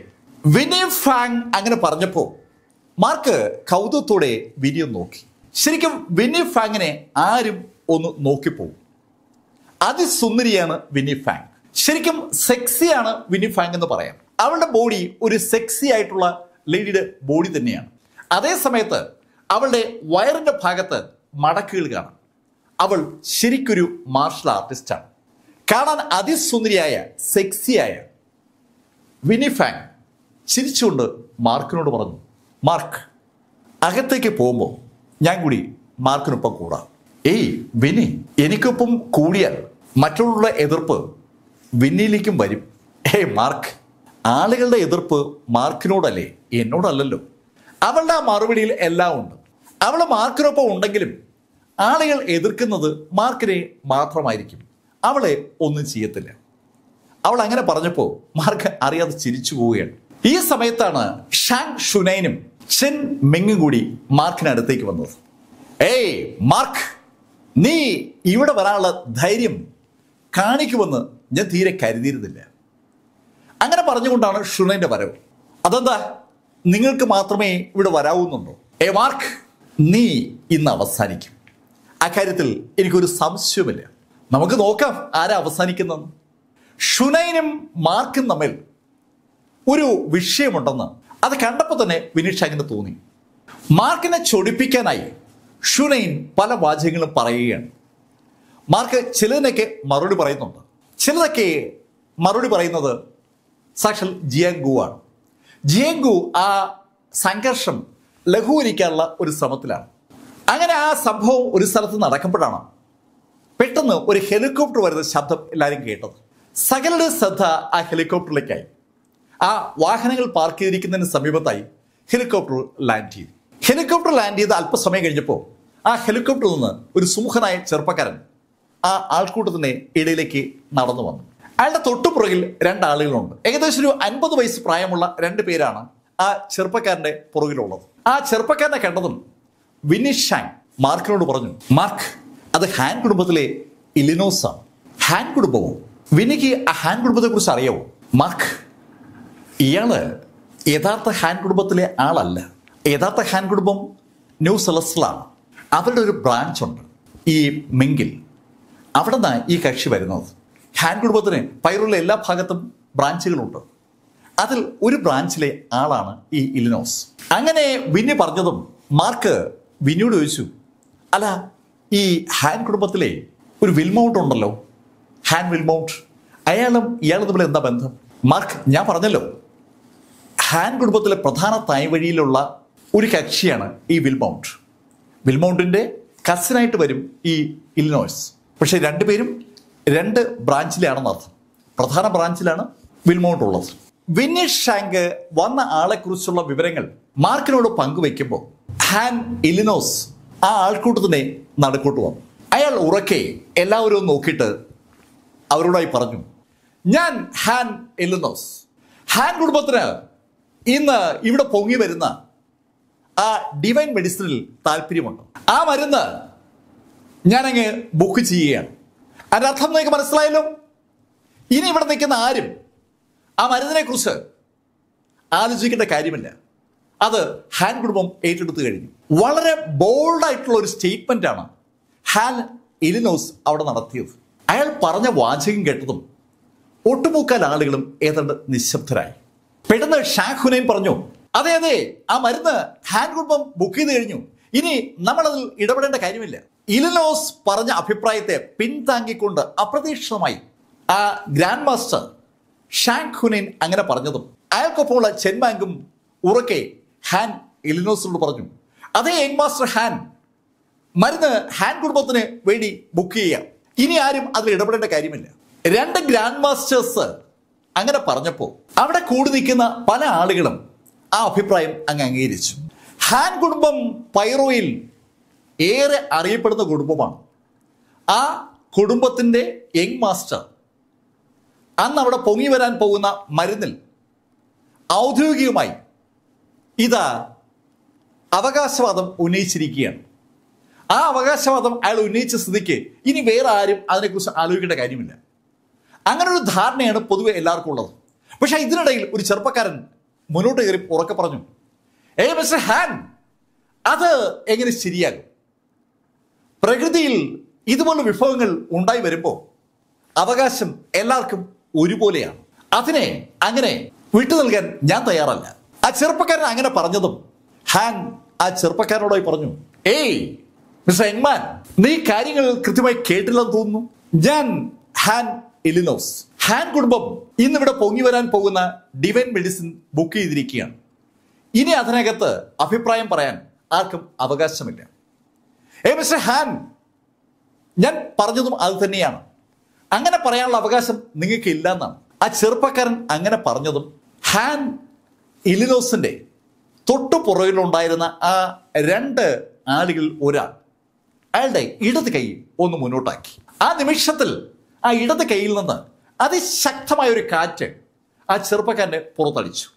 എന്താണ് സംഭവിച്ചതെന്ന് ആളുകൾ തിരിച്ചറിയുമ്പോഴേക്കും ആ ചെറുപ്പക്കാരൻ ആ കാറ്റിന്റെ ശക്തിയിൽ ഒന്ന് പുറകോട്ട് പറന്ന് തൊട്ട് പുറകിലുള്ള ആ കൂറ്റൻ മരത്തിലിടിച്ച് ചെറു കഷ്ണങ്ങളായി താഴേക്ക് വീണു. ശരിക്കും അയാളെ ആ മരത്തിലിടിച്ച് കഷ്ണങ്ങളാക്കിയിരിക്കുകയാണ്. അമ്പരപ്പിക്കുന്ന ഒരു രംഗം. ഇപ്പോ ശരിക്കും ഒരു നിശബ്ദത അവിടെയുണ്ട്. ആ ആൾക്കൂട്ടത്തെ ഒന്ന് നോക്കിയിട്ട് ഹാൻ ഇലിനോസ് ഒരിക്കൽ കൂടി പറഞ്ഞു നോക്ക് എതിർക്കാൻ നിന്നാൽ ഇതായിരിക്കും അനുഭവം. അങ്ങനെ അയാൾ പറയുമ്പോൾ അവിടെ സകലരും പെട്ടെന്ന് നിശബ്ദരായി. ഈ കാഴ്ച മാർക്ക് ഫെല്ലറും കണ്ടു. മാർക്കിനെ ചുറ്റുമുള്ള ആൾക്കൂട്ടത്തെ നിരീക്ഷിച്ചപ്പോൾ ആ ആൾക്കൂട്ടത്തിന്റെ ഭാഗമായി ഒരുപാട് ഇന്നസെന്റ് പാസ് മാസ്റ്റേഴ്സിനെയും മാസ്റ്റർ ഹാൻസിനെയും ഇന്നസെന്റ് മാസ്റ്റേഴ്സിനെയും ഏകദേശം ഒരു ഡസനോളം ഗ്രാൻഡ് മാസ്റ്റേഴ്സിനെ കാണാൻ പറ്റിയിട്ടുണ്ട്. ആ എന്റെ ടീമും നിശബ്ദരായിരിക്കുകയാണ്. വൻ കുടുംബങ്ങളെ ആളുകൾ എങ്ങനെ ഭയപ്പെടുന്നു എന്നുള്ളതിന്റെ വ്യക്തമായ സൂചനയാണ് ആ നിശബ്ദത. സകലരും നിശബ്ദരായി നിൽക്കുന്ന കണ്ടതും ഹാൻ ഉറക്കെ ആ ആൾക്കൂട്ടം നോക്കിയിട്ട് അവരോട് ചോദിച്ചു ആരാ ഈ മാർക്ക് ഫെല്ലർ? പെട്ടെന്ന് ഹാൻ എലിനോസ് ആ ചോദ്യം ചോദിച്ചതും സകല കണ്ണുകളും മാർക്ക് ഫെല്ലറിലേക്ക് തിരിഞ്ഞു. മാർക്ക് ഫെല്ലർ നിൽക്കുന്ന ഭാഗത്തേക്ക് എല്ലാ കണ്ണുകളും തിരിഞ്ഞതും ഷാൻ ഷുനൈൻ മുന്നോട്ട് ഓടി വന്ന് ഹാൻ എലിനോസിനോടായി പറഞ്ഞു ആ ആ നിൽക്കുന്ന കക്ഷിയാണ് മാർക്ക് ഫെല്ലർ. മാർക്ക് ഫെല്ലറെ ചൂണ്ടി ഹുനൈൻ അങ്ങനെ പറഞ്ഞപ്പോ ഹാൻ ഒന്ന് ചിരിച്ചു. ഹാൻ അവിടെ നിന്നിട്ട് മാർക്കിനോട് പറഞ്ഞു ഏയ് മാർക്ക് ഇങ്ങോട്ട് വാ. മാർക്കിനെ അയാൾ കൈയാട്ടി അങ്ങോട്ട് വിളിച്ചപ്പോ മാർക്ക് കണ്ട ഭാവം കാണിക്കാതെ കാട്ടിലെ മറ്റു മരങ്ങളിലേക്ക് നോക്കുകയാണ്. അത് കണ്ടത് ഹുനൈൻ. ഓടി മാർക്കിന്റെ അടുത്ത് വന്നിട്ട് മാർക്കിനോട് പറഞ്ഞു ഏയ് മാസ്റ്റർ ഹാൻ വിളിക്കുന്നതായിട്ടില്ലേ? നീ എന്താ ഇവിടെ നിൽക്കുന്നത് അവൻ വിളിച്ചുകൊണ്ട് മാർക്ക് മാസ്റ്റർ ഹാൻ വിളിച്ചാൽ അവിടേക്ക് നീ ചെല്ലണം. ഓഹോ അങ്ങനെയാണോ? ഞാൻ അറിഞ്ഞില്ലല്ലോ കാര്യം. മാർക്ക് പെട്ടെന്ന് ഹുനൈനോട് അങ്ങനെ പറഞ്ഞതും. ഹുനൈൻ മാർക്കിനോട് പറഞ്ഞു ഏ മാർക്ക് നിന്റെ ധിക്കാരം കൂടുകയാണ്. ഒറ്റയിടിക്ക് നിന്നെ തീർക്കാൻ എനിക്ക് അറിഞ്ഞുകൂടത്തോണ്ടല്ല മാസ്റ്റർ ഹാൻ ഒരു കാര്യം ആവശ്യപ്പെടുമ്പോൾ അത് ചെയ്യുന്നതാണ് നല്ലത്. അത് കേട്ടപ്പോ മാർക്ക് ഫെല്ലർ ഹുനൈനോട് പറഞ്ഞു എടോ താൻ തന്നെ നട്ടൽ പണയം വെച്ചിരിക്കുകയാണ്. ഇതുപോലുള്ള ആളുകളുടെ പട്ടിയായിട്ട് വളർത്തി നടക്കാൻ തനിക്ക് നാണമില്ലേ? വളരെ ഉറക്കെ മാർക്ക് ഫെല്ലർ ആ ചോദ്യം ചോദിച്ചപ്പോൾ ഷാഖ് ഹുനൈൻ ശരിക്കും ഒന്ന് ഞെട്ടിയെന്ന് പറയാം. അത് ശരിക്കും വിറച്ചുപോയി. അയാൾ മിങ് പ്രോവിൻസിലെ അറിയപ്പെടുന്ന ഒരു ഗ്രാൻഡ് മാസ്റ്ററാണ്. അയാൾ ഒരു വലിയ സംഭവമാണെന്നുള്ള കാര്യം അയാൾക്ക് തന്നെ അറിയാം. അയാളുടെ മുഖത്ത് നോക്കിക്കൊണ്ട് മാർക്ക് അങ്ങനെ പറഞ്ഞത്. ഏയ് നീ എന്താ പറഞ്ഞേ? ഞാൻ പറഞ്ഞ മനസ്സിലായില്ലേ? എന്താ? ഞാൻ ചോദിച്ചത് മനസ്സിലായില്ലേ? നിനക്ക് നട്ടലില്ലാത്തതുകൊണ്ട് നീ ഒരു വളർത്തു പട്ടിയായി അവർക്ക് വേണ്ടി കുരയ്ക്കുന്നതാണെന്ന്. പറഞ്ഞ് മനസ്സിലായോ? മാർക്ക് വളരെ വ്യക്തമാക്കി തന്നെ അങ്ങനെ പറഞ്ഞപ്പോ ശരിക്കും ഒരു ദേഷ്യം ഷുണയിൽ ഉണ്ടാവുകയാണ്. ഷുണയിൽ നിന്ന് വിറക്കുകയാണ് പക്ഷെ ഈ സംഭവം അവിടെയുള്ള മുഴുവൻ ആളുകളെ അമ്പരപ്പിച്ചിരിക്കുകയാണ്. ഹാൻ കുടുംബം വലിയ സംഭവമല്ലേ? ആ ഹാൻ കുടുംബത്തിലെ യങ് മാസ്റ്റർ ഹാൻ വിളിച്ച സ്ഥലത്തേക്ക് ചെല്ലാൻ പറഞ്ഞ ഹുനൈനെ ആ ശരിയിൽ മാർക്ക് ആക്ഷേപിച്ചപ്പോൾ പലരും അറിയാതെ പരസ്പരം പറഞ്ഞു പോവുകയാണ്. വെറുതെ അല്ല ഇയാളെ കിങ് ഓഫ് ചിൽഷ്യർ എന്ന് പറയുന്നത് വളരെ ഷാർപ്പ് നാക്കാണ് ഇയാൾക്ക്. അങ്ങനെ ആളുകൾ പറഞ്ഞതും മസ് ഹാൻ മുന്നോട്ട് നടന്നു. അയാൾ മാർക്കിനോട് പറഞ്ഞു ഏ മാർക്ക് ഫെല്ലർ നിനക്ക് ഒരു നട്ടലുണ്ട്. അക്കാര്യം ഞാൻ സമ്മതിക്കുന്നു.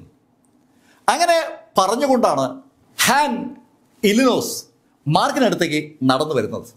അത് കണ്ടതും ഹുനൈൻ ഇലിനോസിനോട് പറഞ്ഞു എങ് മാസ്റ്റർ അങ്ങ് ആജ്ഞാപിച്ചാൽ ഈ നിമിഷം ഞാൻ അവനെ വിളിച്ചു കൊല്ലാം. അത് കേട്ട് ചിരിച്ചുകൊണ്ട് ഇലിനോസ് കുറച്ചുകൂടി അടുത്തേക്ക് വന്നു. അയാൾ മാർക്കിനോട് പറഞ്ഞു ഏ മാർക്ക് ഫെല്ലർ നീ ഒരു സംഭവമാണെന്ന് ആളുകളൊക്കെ പറയുന്നുണ്ടല്ലോ. നിന്നെ കുറിച്ച് എന്തൊക്കെ പറയുമല്ലോ? എന്തോന്ന്? കിങ് ഓഫ് സിൽഷ്യർ ആ അങ്ങനെ തന്നെ നീ എങ്ങനെ രാജാവായത്? നീ കൊള്ളാലോ? ശരിക്കും കളിയാക്കുന്ന ശരിയിൽ ഹാൻ എലിനോസ് മാർക്കിനോട് അങ്ങനെ പറയുമ്പോൾ അത് കേട്ടുകൊണ്ട് നിൽക്കുന്ന ആളുകളുടെ മുഖത്തൊക്കെ ഒരു കൗതുകമുണ്ട്. ഹാൻ മാർക്കിനെ ഒന്ന് സൂക്ഷിച്ചു നോക്കിയിട്ട് അവനോടായി പറഞ്ഞു ആ പിന്നെ മാർക്ക് ഞാൻ ഒരു കാര്യം നിന്നോട് ചോദിക്കണമെന്ന് കരുതിയിട്ട് നിന്നെ കാണണമെന്ന് വിചാരിച്ചു. നീ ബ്ലാക്ക് കുടുംബത്തിലെ എമിലി ബ്ലാക്കിനെ പ്രണയിക്കുന്നു എന്നൊക്കെ ഒരു വാർത്ത കേട്ടു. എന്താ അതിന്റെ വാസ്തവം? ഏയ് എലിനോസ് ഞാനും എമിലി ബ്ലാക്കും തമ്മിലുള്ള ഇഷ്ടം നിന്നോട് പറയാൻ. നീ ആരാ? അല്ല ഞാൻ അറിയാമോ എന്ന് ചോദിക്കുകയാണ്. നീ സത്യത്തിൽ ആരാ? പെട്ടെന്ന് മാർക്ക് അങ്ങനെ ചോദിച്ചപ്പോ ഹാൻ ലിനോസ് ഒന്ന് പതറി. അയാൾ മാർക്കിനോട് പറഞ്ഞു ഞാൻ ഹാൻ കുടുംബത്തിലെ യങ് മാസ്റ്റർ ഇലിനോസ് ഹാൻ കുടുംബത്തിലെ യങ് മാസ്റ്ററോ? എടോ യഥാർത്ഥ ഹാൻ കുടുംബവുമായി നിനക്ക് വല്ല ബന്ധമുണ്ടോ? ആ ഹാൻ കുടുംബത്തിലെ ആളുകൾ ഭക്ഷണം കഴിക്കുമ്പോൾ അവർക്കൊപ്പം ഇരിക്കാനുള്ള യോഗ്യത നിനക്കുണ്ടോ?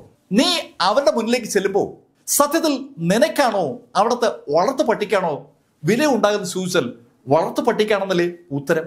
ഹാൻ കുടുംബത്തിന്റെ വളർത്തു പട്ടിയേക്കാൾ താഴ്ന്ന ഒരു സ്ഥാനം മാത്രമാണ് ഹാൻ കുടുംബം. സാക്ഷാൽ ഹാൻ എലിനോസിന് കൊടുക്കുന്നതെന്ന് മാർക്ക് പറഞ്ഞപ്പോൾ ഹാൻ എലിനോസിന്റെ ദേഹം ശരിക്കും വിറയ്ക്കുകയാണ്. ആ ആൾക്കൂട്ടത്തിന് മധ്യത്തിൽ വെച്ച് അയാളെ പച്ചയ്ക്ക് തൊലി ഉരിച്ചിരിക്കുകയാണ് ശരിക്കും ദേഷ്യം വന്ന ഹാൻ എലിനോസ് മാർക്കിനോട് പറഞ്ഞു ഏ മാർക്ക് നീ എന്ത് അനാവശ്യമാ പറയുന്നത്? അനാവശ്യം. ഏ മാർക്ക് നീ ഞാൻ ആരെന്നറിയാതെയാണ് എന്നോട് ഇങ്ങനെയൊക്കെ സംസാരിക്കുന്നത്?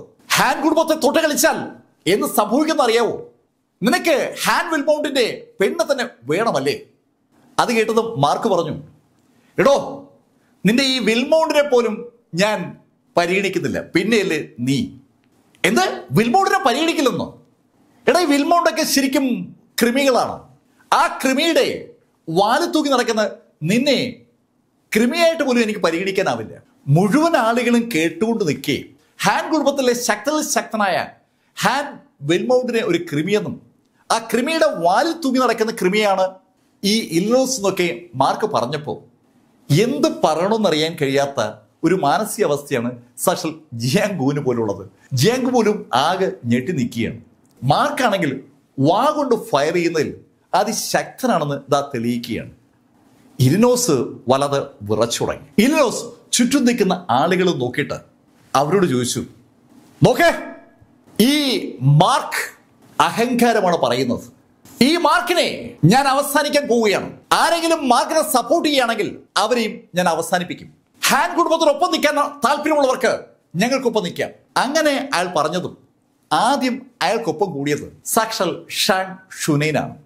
തൊട്ടുപുറകെ ചെന്മൻ. ബാക്കിയുള്ള ആളുകളൊക്കെ പെട്ടെന്ന് കൂടുകയാണ്. അവിടെ ഏകദേശം ഒരു നൂറ് ആളുകൾ ഉള്ളതിൽ എൺപത് ആളുകളും ഹാൻ കുടുംബത്തിന്റെ ഒപ്പം അങ്ങ് കൂടി. ബാക്കി ഒരു പത്തിരുപത് ആളുകളുണ്ട്. ഈ രംഗത്തിന് സാക്ഷ്യം വഹിച്ചുകൊണ്ടിരിക്കുന്ന ഡോൺ ടിയാൻഹിയോട് അയാളുടെ ശിഷ്യമാർ ചോദിച്ചു മാസ്റ്റർ നമ്മളും ഹാൻ കുടുംബത്തിന്റെ ഭാഗമാകണ്ടേ? ഏയ് അത് വേണ്ട.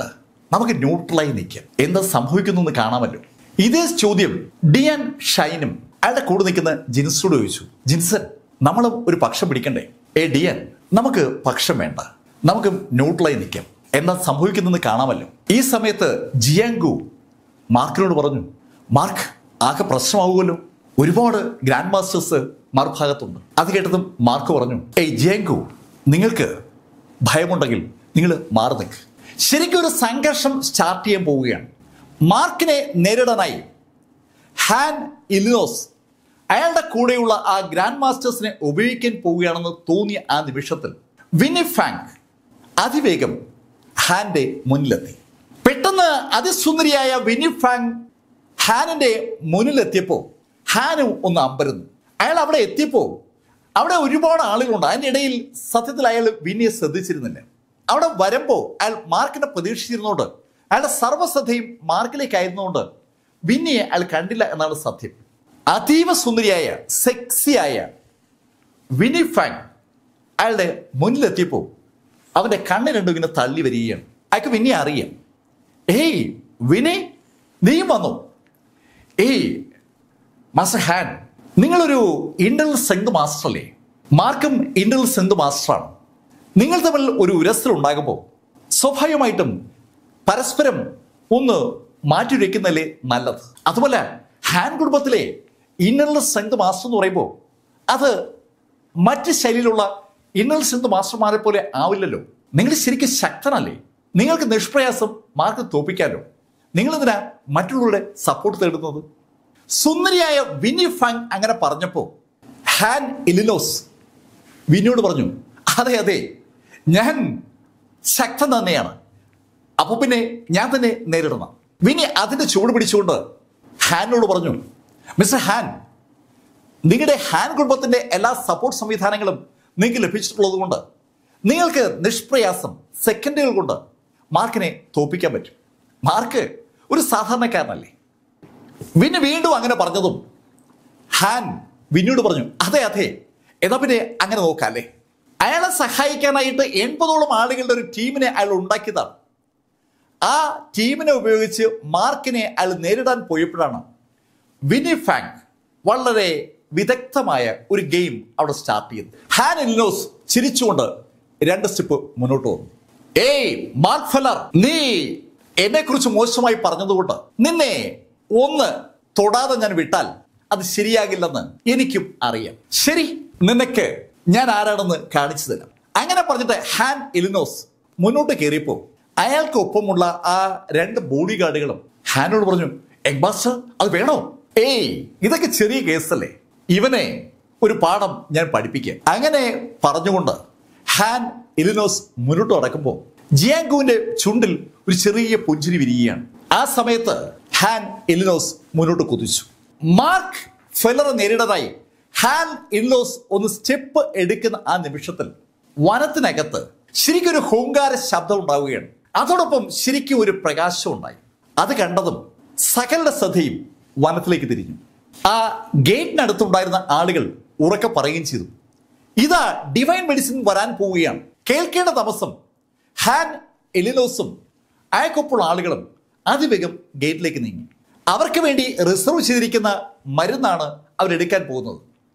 അവർ അകത്തേക്ക് കയറിയപ്പോൾ പതുക്കെ പതുക്കെ ആളുകൾ അവിടെ പുറകെ കയറി തുടങ്ങിയാണ് അകത്തേക്ക് കയറുന്ന ആളുകൾക്കൊക്കെയും അറിയാം ഹാൻ എലിനോസ് ആണ് ആ മരുന്ന് എടുക്കാൻ പോകുന്നത്. ഹാൻ കുടുംബത്തെ തടുത്തുകൊണ്ട് ആർക്കും മരുന്നെടുക്കാൻ പറ്റില്ല. ആളുകൾ ഒന്നൊന്നായി അകത്തേക്ക് കയറി തുടങ്ങി. ജിയാങ്കുവിന്റെ അടുത്ത് നിൽക്കുന്ന മാർക്കിന്റെ അടുത്തേക്ക് വന്ന വിനി മാർക്കിനോട് പറഞ്ഞു മാർക്ക് ഞാൻ മാർക്കിനൊപ്പം ഉണ്ടാവേ ഏയ് വിനി ഇപ്പൊ തന്നെ ഹാൻ ഫാമിലിക്ക് ഒപ്പം നിങ്ങൾ ചേരാത്തതുകൊണ്ട് നിങ്ങൾ അവരുടെ നോട്ടപ്പുള്ളി ആയിരിക്കുകയാണ്.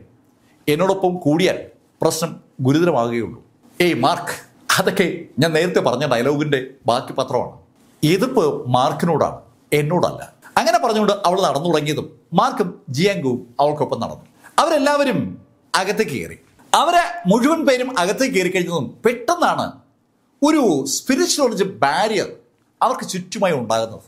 ആ അത്ഭുത മരുന്ന് ഉണ്ടാകാൻ പോകുന്നതിന്റെ ലക്ഷണമായിട്ടാണ് ആ ബാരിയറിനെ എല്ലാവരും കണ്ടത്. ശരിക്കൊരു മതിൽ പോലെ ഊർജത്തിന്റെതായ ഒരു വലയം ആ മലയുടെ ഭാഗം മുഴുവൻ കവർ ചെയ്തുണ്ടായിരിക്കുകയാണ്. ശരിക്കും നല്ല പ്രകാശത്തിൽ ആ മല തിളങ്ങി തുടങ്ങി.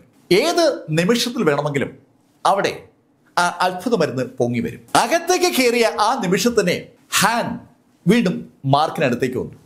മാർക്ക് നമ്മൾ തുടങ്ങി വെച്ചത് അവസാനിപ്പിക്കണ്ടേ? വിനി ഫെങ്ങിന് അടുത്ത് നിൽക്കുന്ന മാർക്കിനോടായി ഹാൻ അങ്ങനെ ചോദിച്ചതും വീണ്ടും തൊട്ട് മുമ്പത്തെ ആ രംഗം ആവർത്തിക്കുകയാണ്. ഹാനന്റെ വശത്തേക്ക് ഏകദേശം എൺപതോളം വരുന്ന ആളുകളെ മാറി. ബാക്കി ആളുകൾ ഒരു ഭാഗത്ത് ചേരാതെ മാറി നിൽക്കുകയാണ്. ജിയാങ്കു മാത്രമാണ് മാർക്കിനൊപ്പമുള്ളത്. വിനി ഫാങ് അവളുടെ ടീമിനൊപ്പം നിൽക്കുകയാണ്. ഹാൻ ഇലിനോസ് മാർക്കിനെ നേരിടാനായി മുന്നോട്ട് കുതിച്ചു. ശരിക്കും അകത്ത് വന്നിട്ട് മാർക്കിനെ നേരിടുന്നതാണ് നല്ലതെന്ന് അയാൾക്കൊരു തോന്നൽ നേരത്തെ ഉണ്ടായിരുന്നു. നേരത്തെ വിന്നെ ഒന്ന് മോപ്പിച്ചപ്പോൾ അയാൾ അപ്പോൾ നേരിടാൻ ശ്രമിച്ചു എന്ന് മാത്രം. ഇപ്പോ അകത്ത് വെച്ചാകുമ്പോൾ ഒരു കാരണവശാലും മാർക്കിന് രക്ഷപ്പെടാൻ പറ്റില്ല. മാർക്കിന്റെ നേരെ മുന്നോട്ട് കുതിച്ച ഹാൻ ഇലിനോസ് അയാളുടെ കൈ നിവർത്തി അതിശക്തമായ ഒരു ഒറ്റ ഇടി. ആ ഇടി മാർക്കിന്റെ പുറത്ത് പതിച്ചതും ഹാൻ ഇലിനോസ് ഏതാനും സ്റ്റെപ്പ് പുറകോട്ട് തെറിച്ചു. അനവധി സ്റ്റെപ്പ് പുറകോട്ട് നീങ്ങിപ്പോയ ഹാൻ ഇലിനോസ് അവന്റെ കയ്യിലേക്ക് നോക്കി. അവന് വിശ്വസിക്കാൻ പറ്റില്ല അവന്റെ കൈ ശരിക്കും വിറയ്ക്കുന്നുണ്ട്. അവൻ എന്തോ ഇരുമ്പിൽ ഇടിച്ച ഒരു പ്രതീതിയാണ് അവന് തോന്നിയത്. ഈ കാഴ്ച ആ വനത്തിനകത്ത് എത്തിയിരിക്കുന്ന ആളുകൾക്കൊക്കെ അതിശയം ഉണ്ടാക്കി. നേരത്തെ ഡുവാൻ മാർക്കിനെ ഇടിച്ചപ്പോൾ മാർക്ക് തെറിച്ച് ദൂരെ വീണതാണ്. ആ മാർക്കിനെ തന്നെയാണ് ഇപ്പൊ ഇതാ ഹാൻ ഇല്ലോസ് ഇടിക്കുന്നത്. ഹാൻ ഇല്ലോസ് ഇടിച്ചപ്പോൾ ഹാനാണ് പുറകോട്ട് തെറിച്ചത്. ആളുകളൊക്കെ അമ്പരപ്പോടെ ഹാൻ ഇൽനോസ് നോക്കുമ്പോൾ അയാൾ ഒന്ന് കൈ ഉടഞ്ഞു. ഏ മാർക്ക് ഞാൻ നിന്നെ ചെറുതായിട്ടൊന്ന് ഇടിച്ചു നോക്കിയതാണ്. ശരിക്കും നീ ശക്തനാണെന്ന് ഇപ്പോഴാണ് എനിക്ക് മനസ്സിലായത്. നിന്റെ ബോഡിക്ക് നല്ല പവറുണ്ട് അങ്ങനെ പറഞ്ഞിട്ട് അയാൾ പിന്നെയും മുന്നോട്ട് കുതിച്ചു. ഈ സമയത്ത് അയാൾ അയാളുടെ മുഴുവൻ ശക്തിയും എടുക്കുകയാണ്. മുഴുവൻ ശക്തി എടുത്തിട്ട് മുന്നോട്ട് കുതിച്ച ഹാൻ ഇൽനോസ് ചാടി ഉയർന്നു ഒരൊറ്റ ഇടി.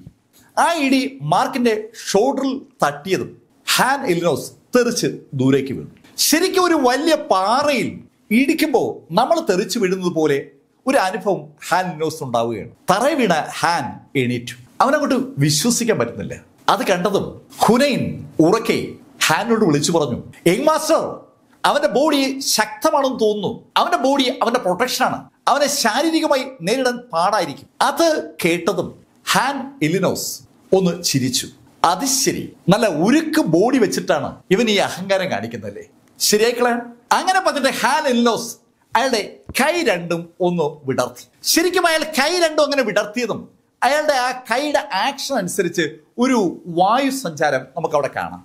ശരിക്കും ഒരു കാറ്റ് അയാളുടെ കൈക്കകത്ത് ഇങ്ങനെ ചലിക്കുകയാണ്. ആ കൈക്കകത്തുള്ള കാറ്റിന്റെ ചലനത്തെ അയാൾ പെട്ടെന്ന് ഒരു കൈയിലേക്ക് ഇങ്ങനെ മാറ്റി ഒന്ന് കറക്കി തുടങ്ങിയപ്പോൾ അതൊരു വലിയ ഡിസ്ക് പോലെയായി മാറി. ശരിക്കും ഒരു വലിയ ഡിസ്ക് കാറ്റ് കൊണ്ട് അയാൾ രൂപീകരിച്ചിരിക്കുകയാണ്. ആ ഡിസ്കിന് കട്ടി ഉണ്ടെന്നും അത് കാണുന്ന ഏതൊരാൾക്ക് മനസ്സിലാവും. ആ ഡിസ്ക് അയാളുടെ കയ്യിലേക്ക് വരുമ്പോൾ ആ ഡിസ്കിന് ഒരു പിടി പോലെ വരികയാണ്. ആ പിടിയോടുകൂടി അയാൾ ഒന്ന് മുന്നോട്ട് കുതിച്ചു. ശരിക്കും മുന്നോട്ട് കുതിച്ച ഹാൻ എല്ലോസ് ആ മാന്ത്രിക ഡിസ്കുമായി ചാടി ഉയർന്നു. ചാടി ആകാശത്തിലേക്ക് ഉയർന്ന ആ ഹാൻ എല്ലോസ് ആ ഡിസ്കുമായി നേരെ താഴേക്ക് കുതിക്കുകയാണ്. ആദ്യത്തെ രണ്ട് ഇടിയിലും മാർക്ക് പ്രതികരിച്ചിട്ടില്ല. മൂന്നാമത്തെ തവണ ആ ഡിസ്കുമായി ഹാൻ ഇൽനോസ് താഴേക്ക് കുതിച്ചു വന്നതും മാർക്ക് അവന്റെ ഇടത് കൈ ഒന്ന് ഉയർത്തി. ആ നിമിഷം തന്നെ ആ ഡിസ്ക് കഷ്ണം കഷ്ണമായി ചിതറി. ശരിക്കും അതൊരു ഇല്യൂഷനാണ് ആ ഇല്യൂഷൻ അങ്ങനെ ചിതറുമ്പോൾ മാർക്കിന്റെ ഇടത് കൈ ഉണ്ടാക്കിയ പ്രഷറിൽ ഇലനോസ് മുകളിലേക്ക് തെറിച്ചു. അത് ശരിക്കും പൊക്കത്ത് ചാടി ഉയർന്ന് താഴേക്ക് വന്നതാണ്. പക്ഷെ അതിനേക്കാൾ വേഗതയിൽ മുകളിലേക്ക് തെറിച്ച ഇലനോസ് ഏതാനും മീറ്റർ പുറകിലുള്ള ഒരു വൻ മരത്തിലിടിച്ച് നേരെ താഴേക്ക് വീണു. ആ മരത്തിലിടിച്ച് ഇലിനോസ് താഴേക്ക് വീഴുമ്പോൾ ശരിക്കും പൂർണ നിശബ്ദത ആ കാട്ടിൽ പിന്നെയും ഉണ്ടാവുകയാണ്. ഹാൻ എലിനോസ് ആ വീണ നിമിഷം ശരിക്കും മുഴുവൻ ആളുകളും നിശബ്ദരായി നിൽക്കുമ്പോൾ തറയിൽ വീണ ഹാൻ എലിനോസ് അയാളുടെ അംഗരക്ഷകരെ നോക്കി അലറുകയാണ്. കൊല്ലവനെ അത് കേട്ട നിമിഷത്തിൽ ആ രണ്ട് ഗ്രാൻഡ് മാസ്റ്റേഴ്സും മുന്നോട്ട് കുതിച്ചു. അതേ സമയത്ത് തന്നെ ഹാൻ എലിനോസ് ഒരു വാചകം കൂടി പറഞ്ഞു.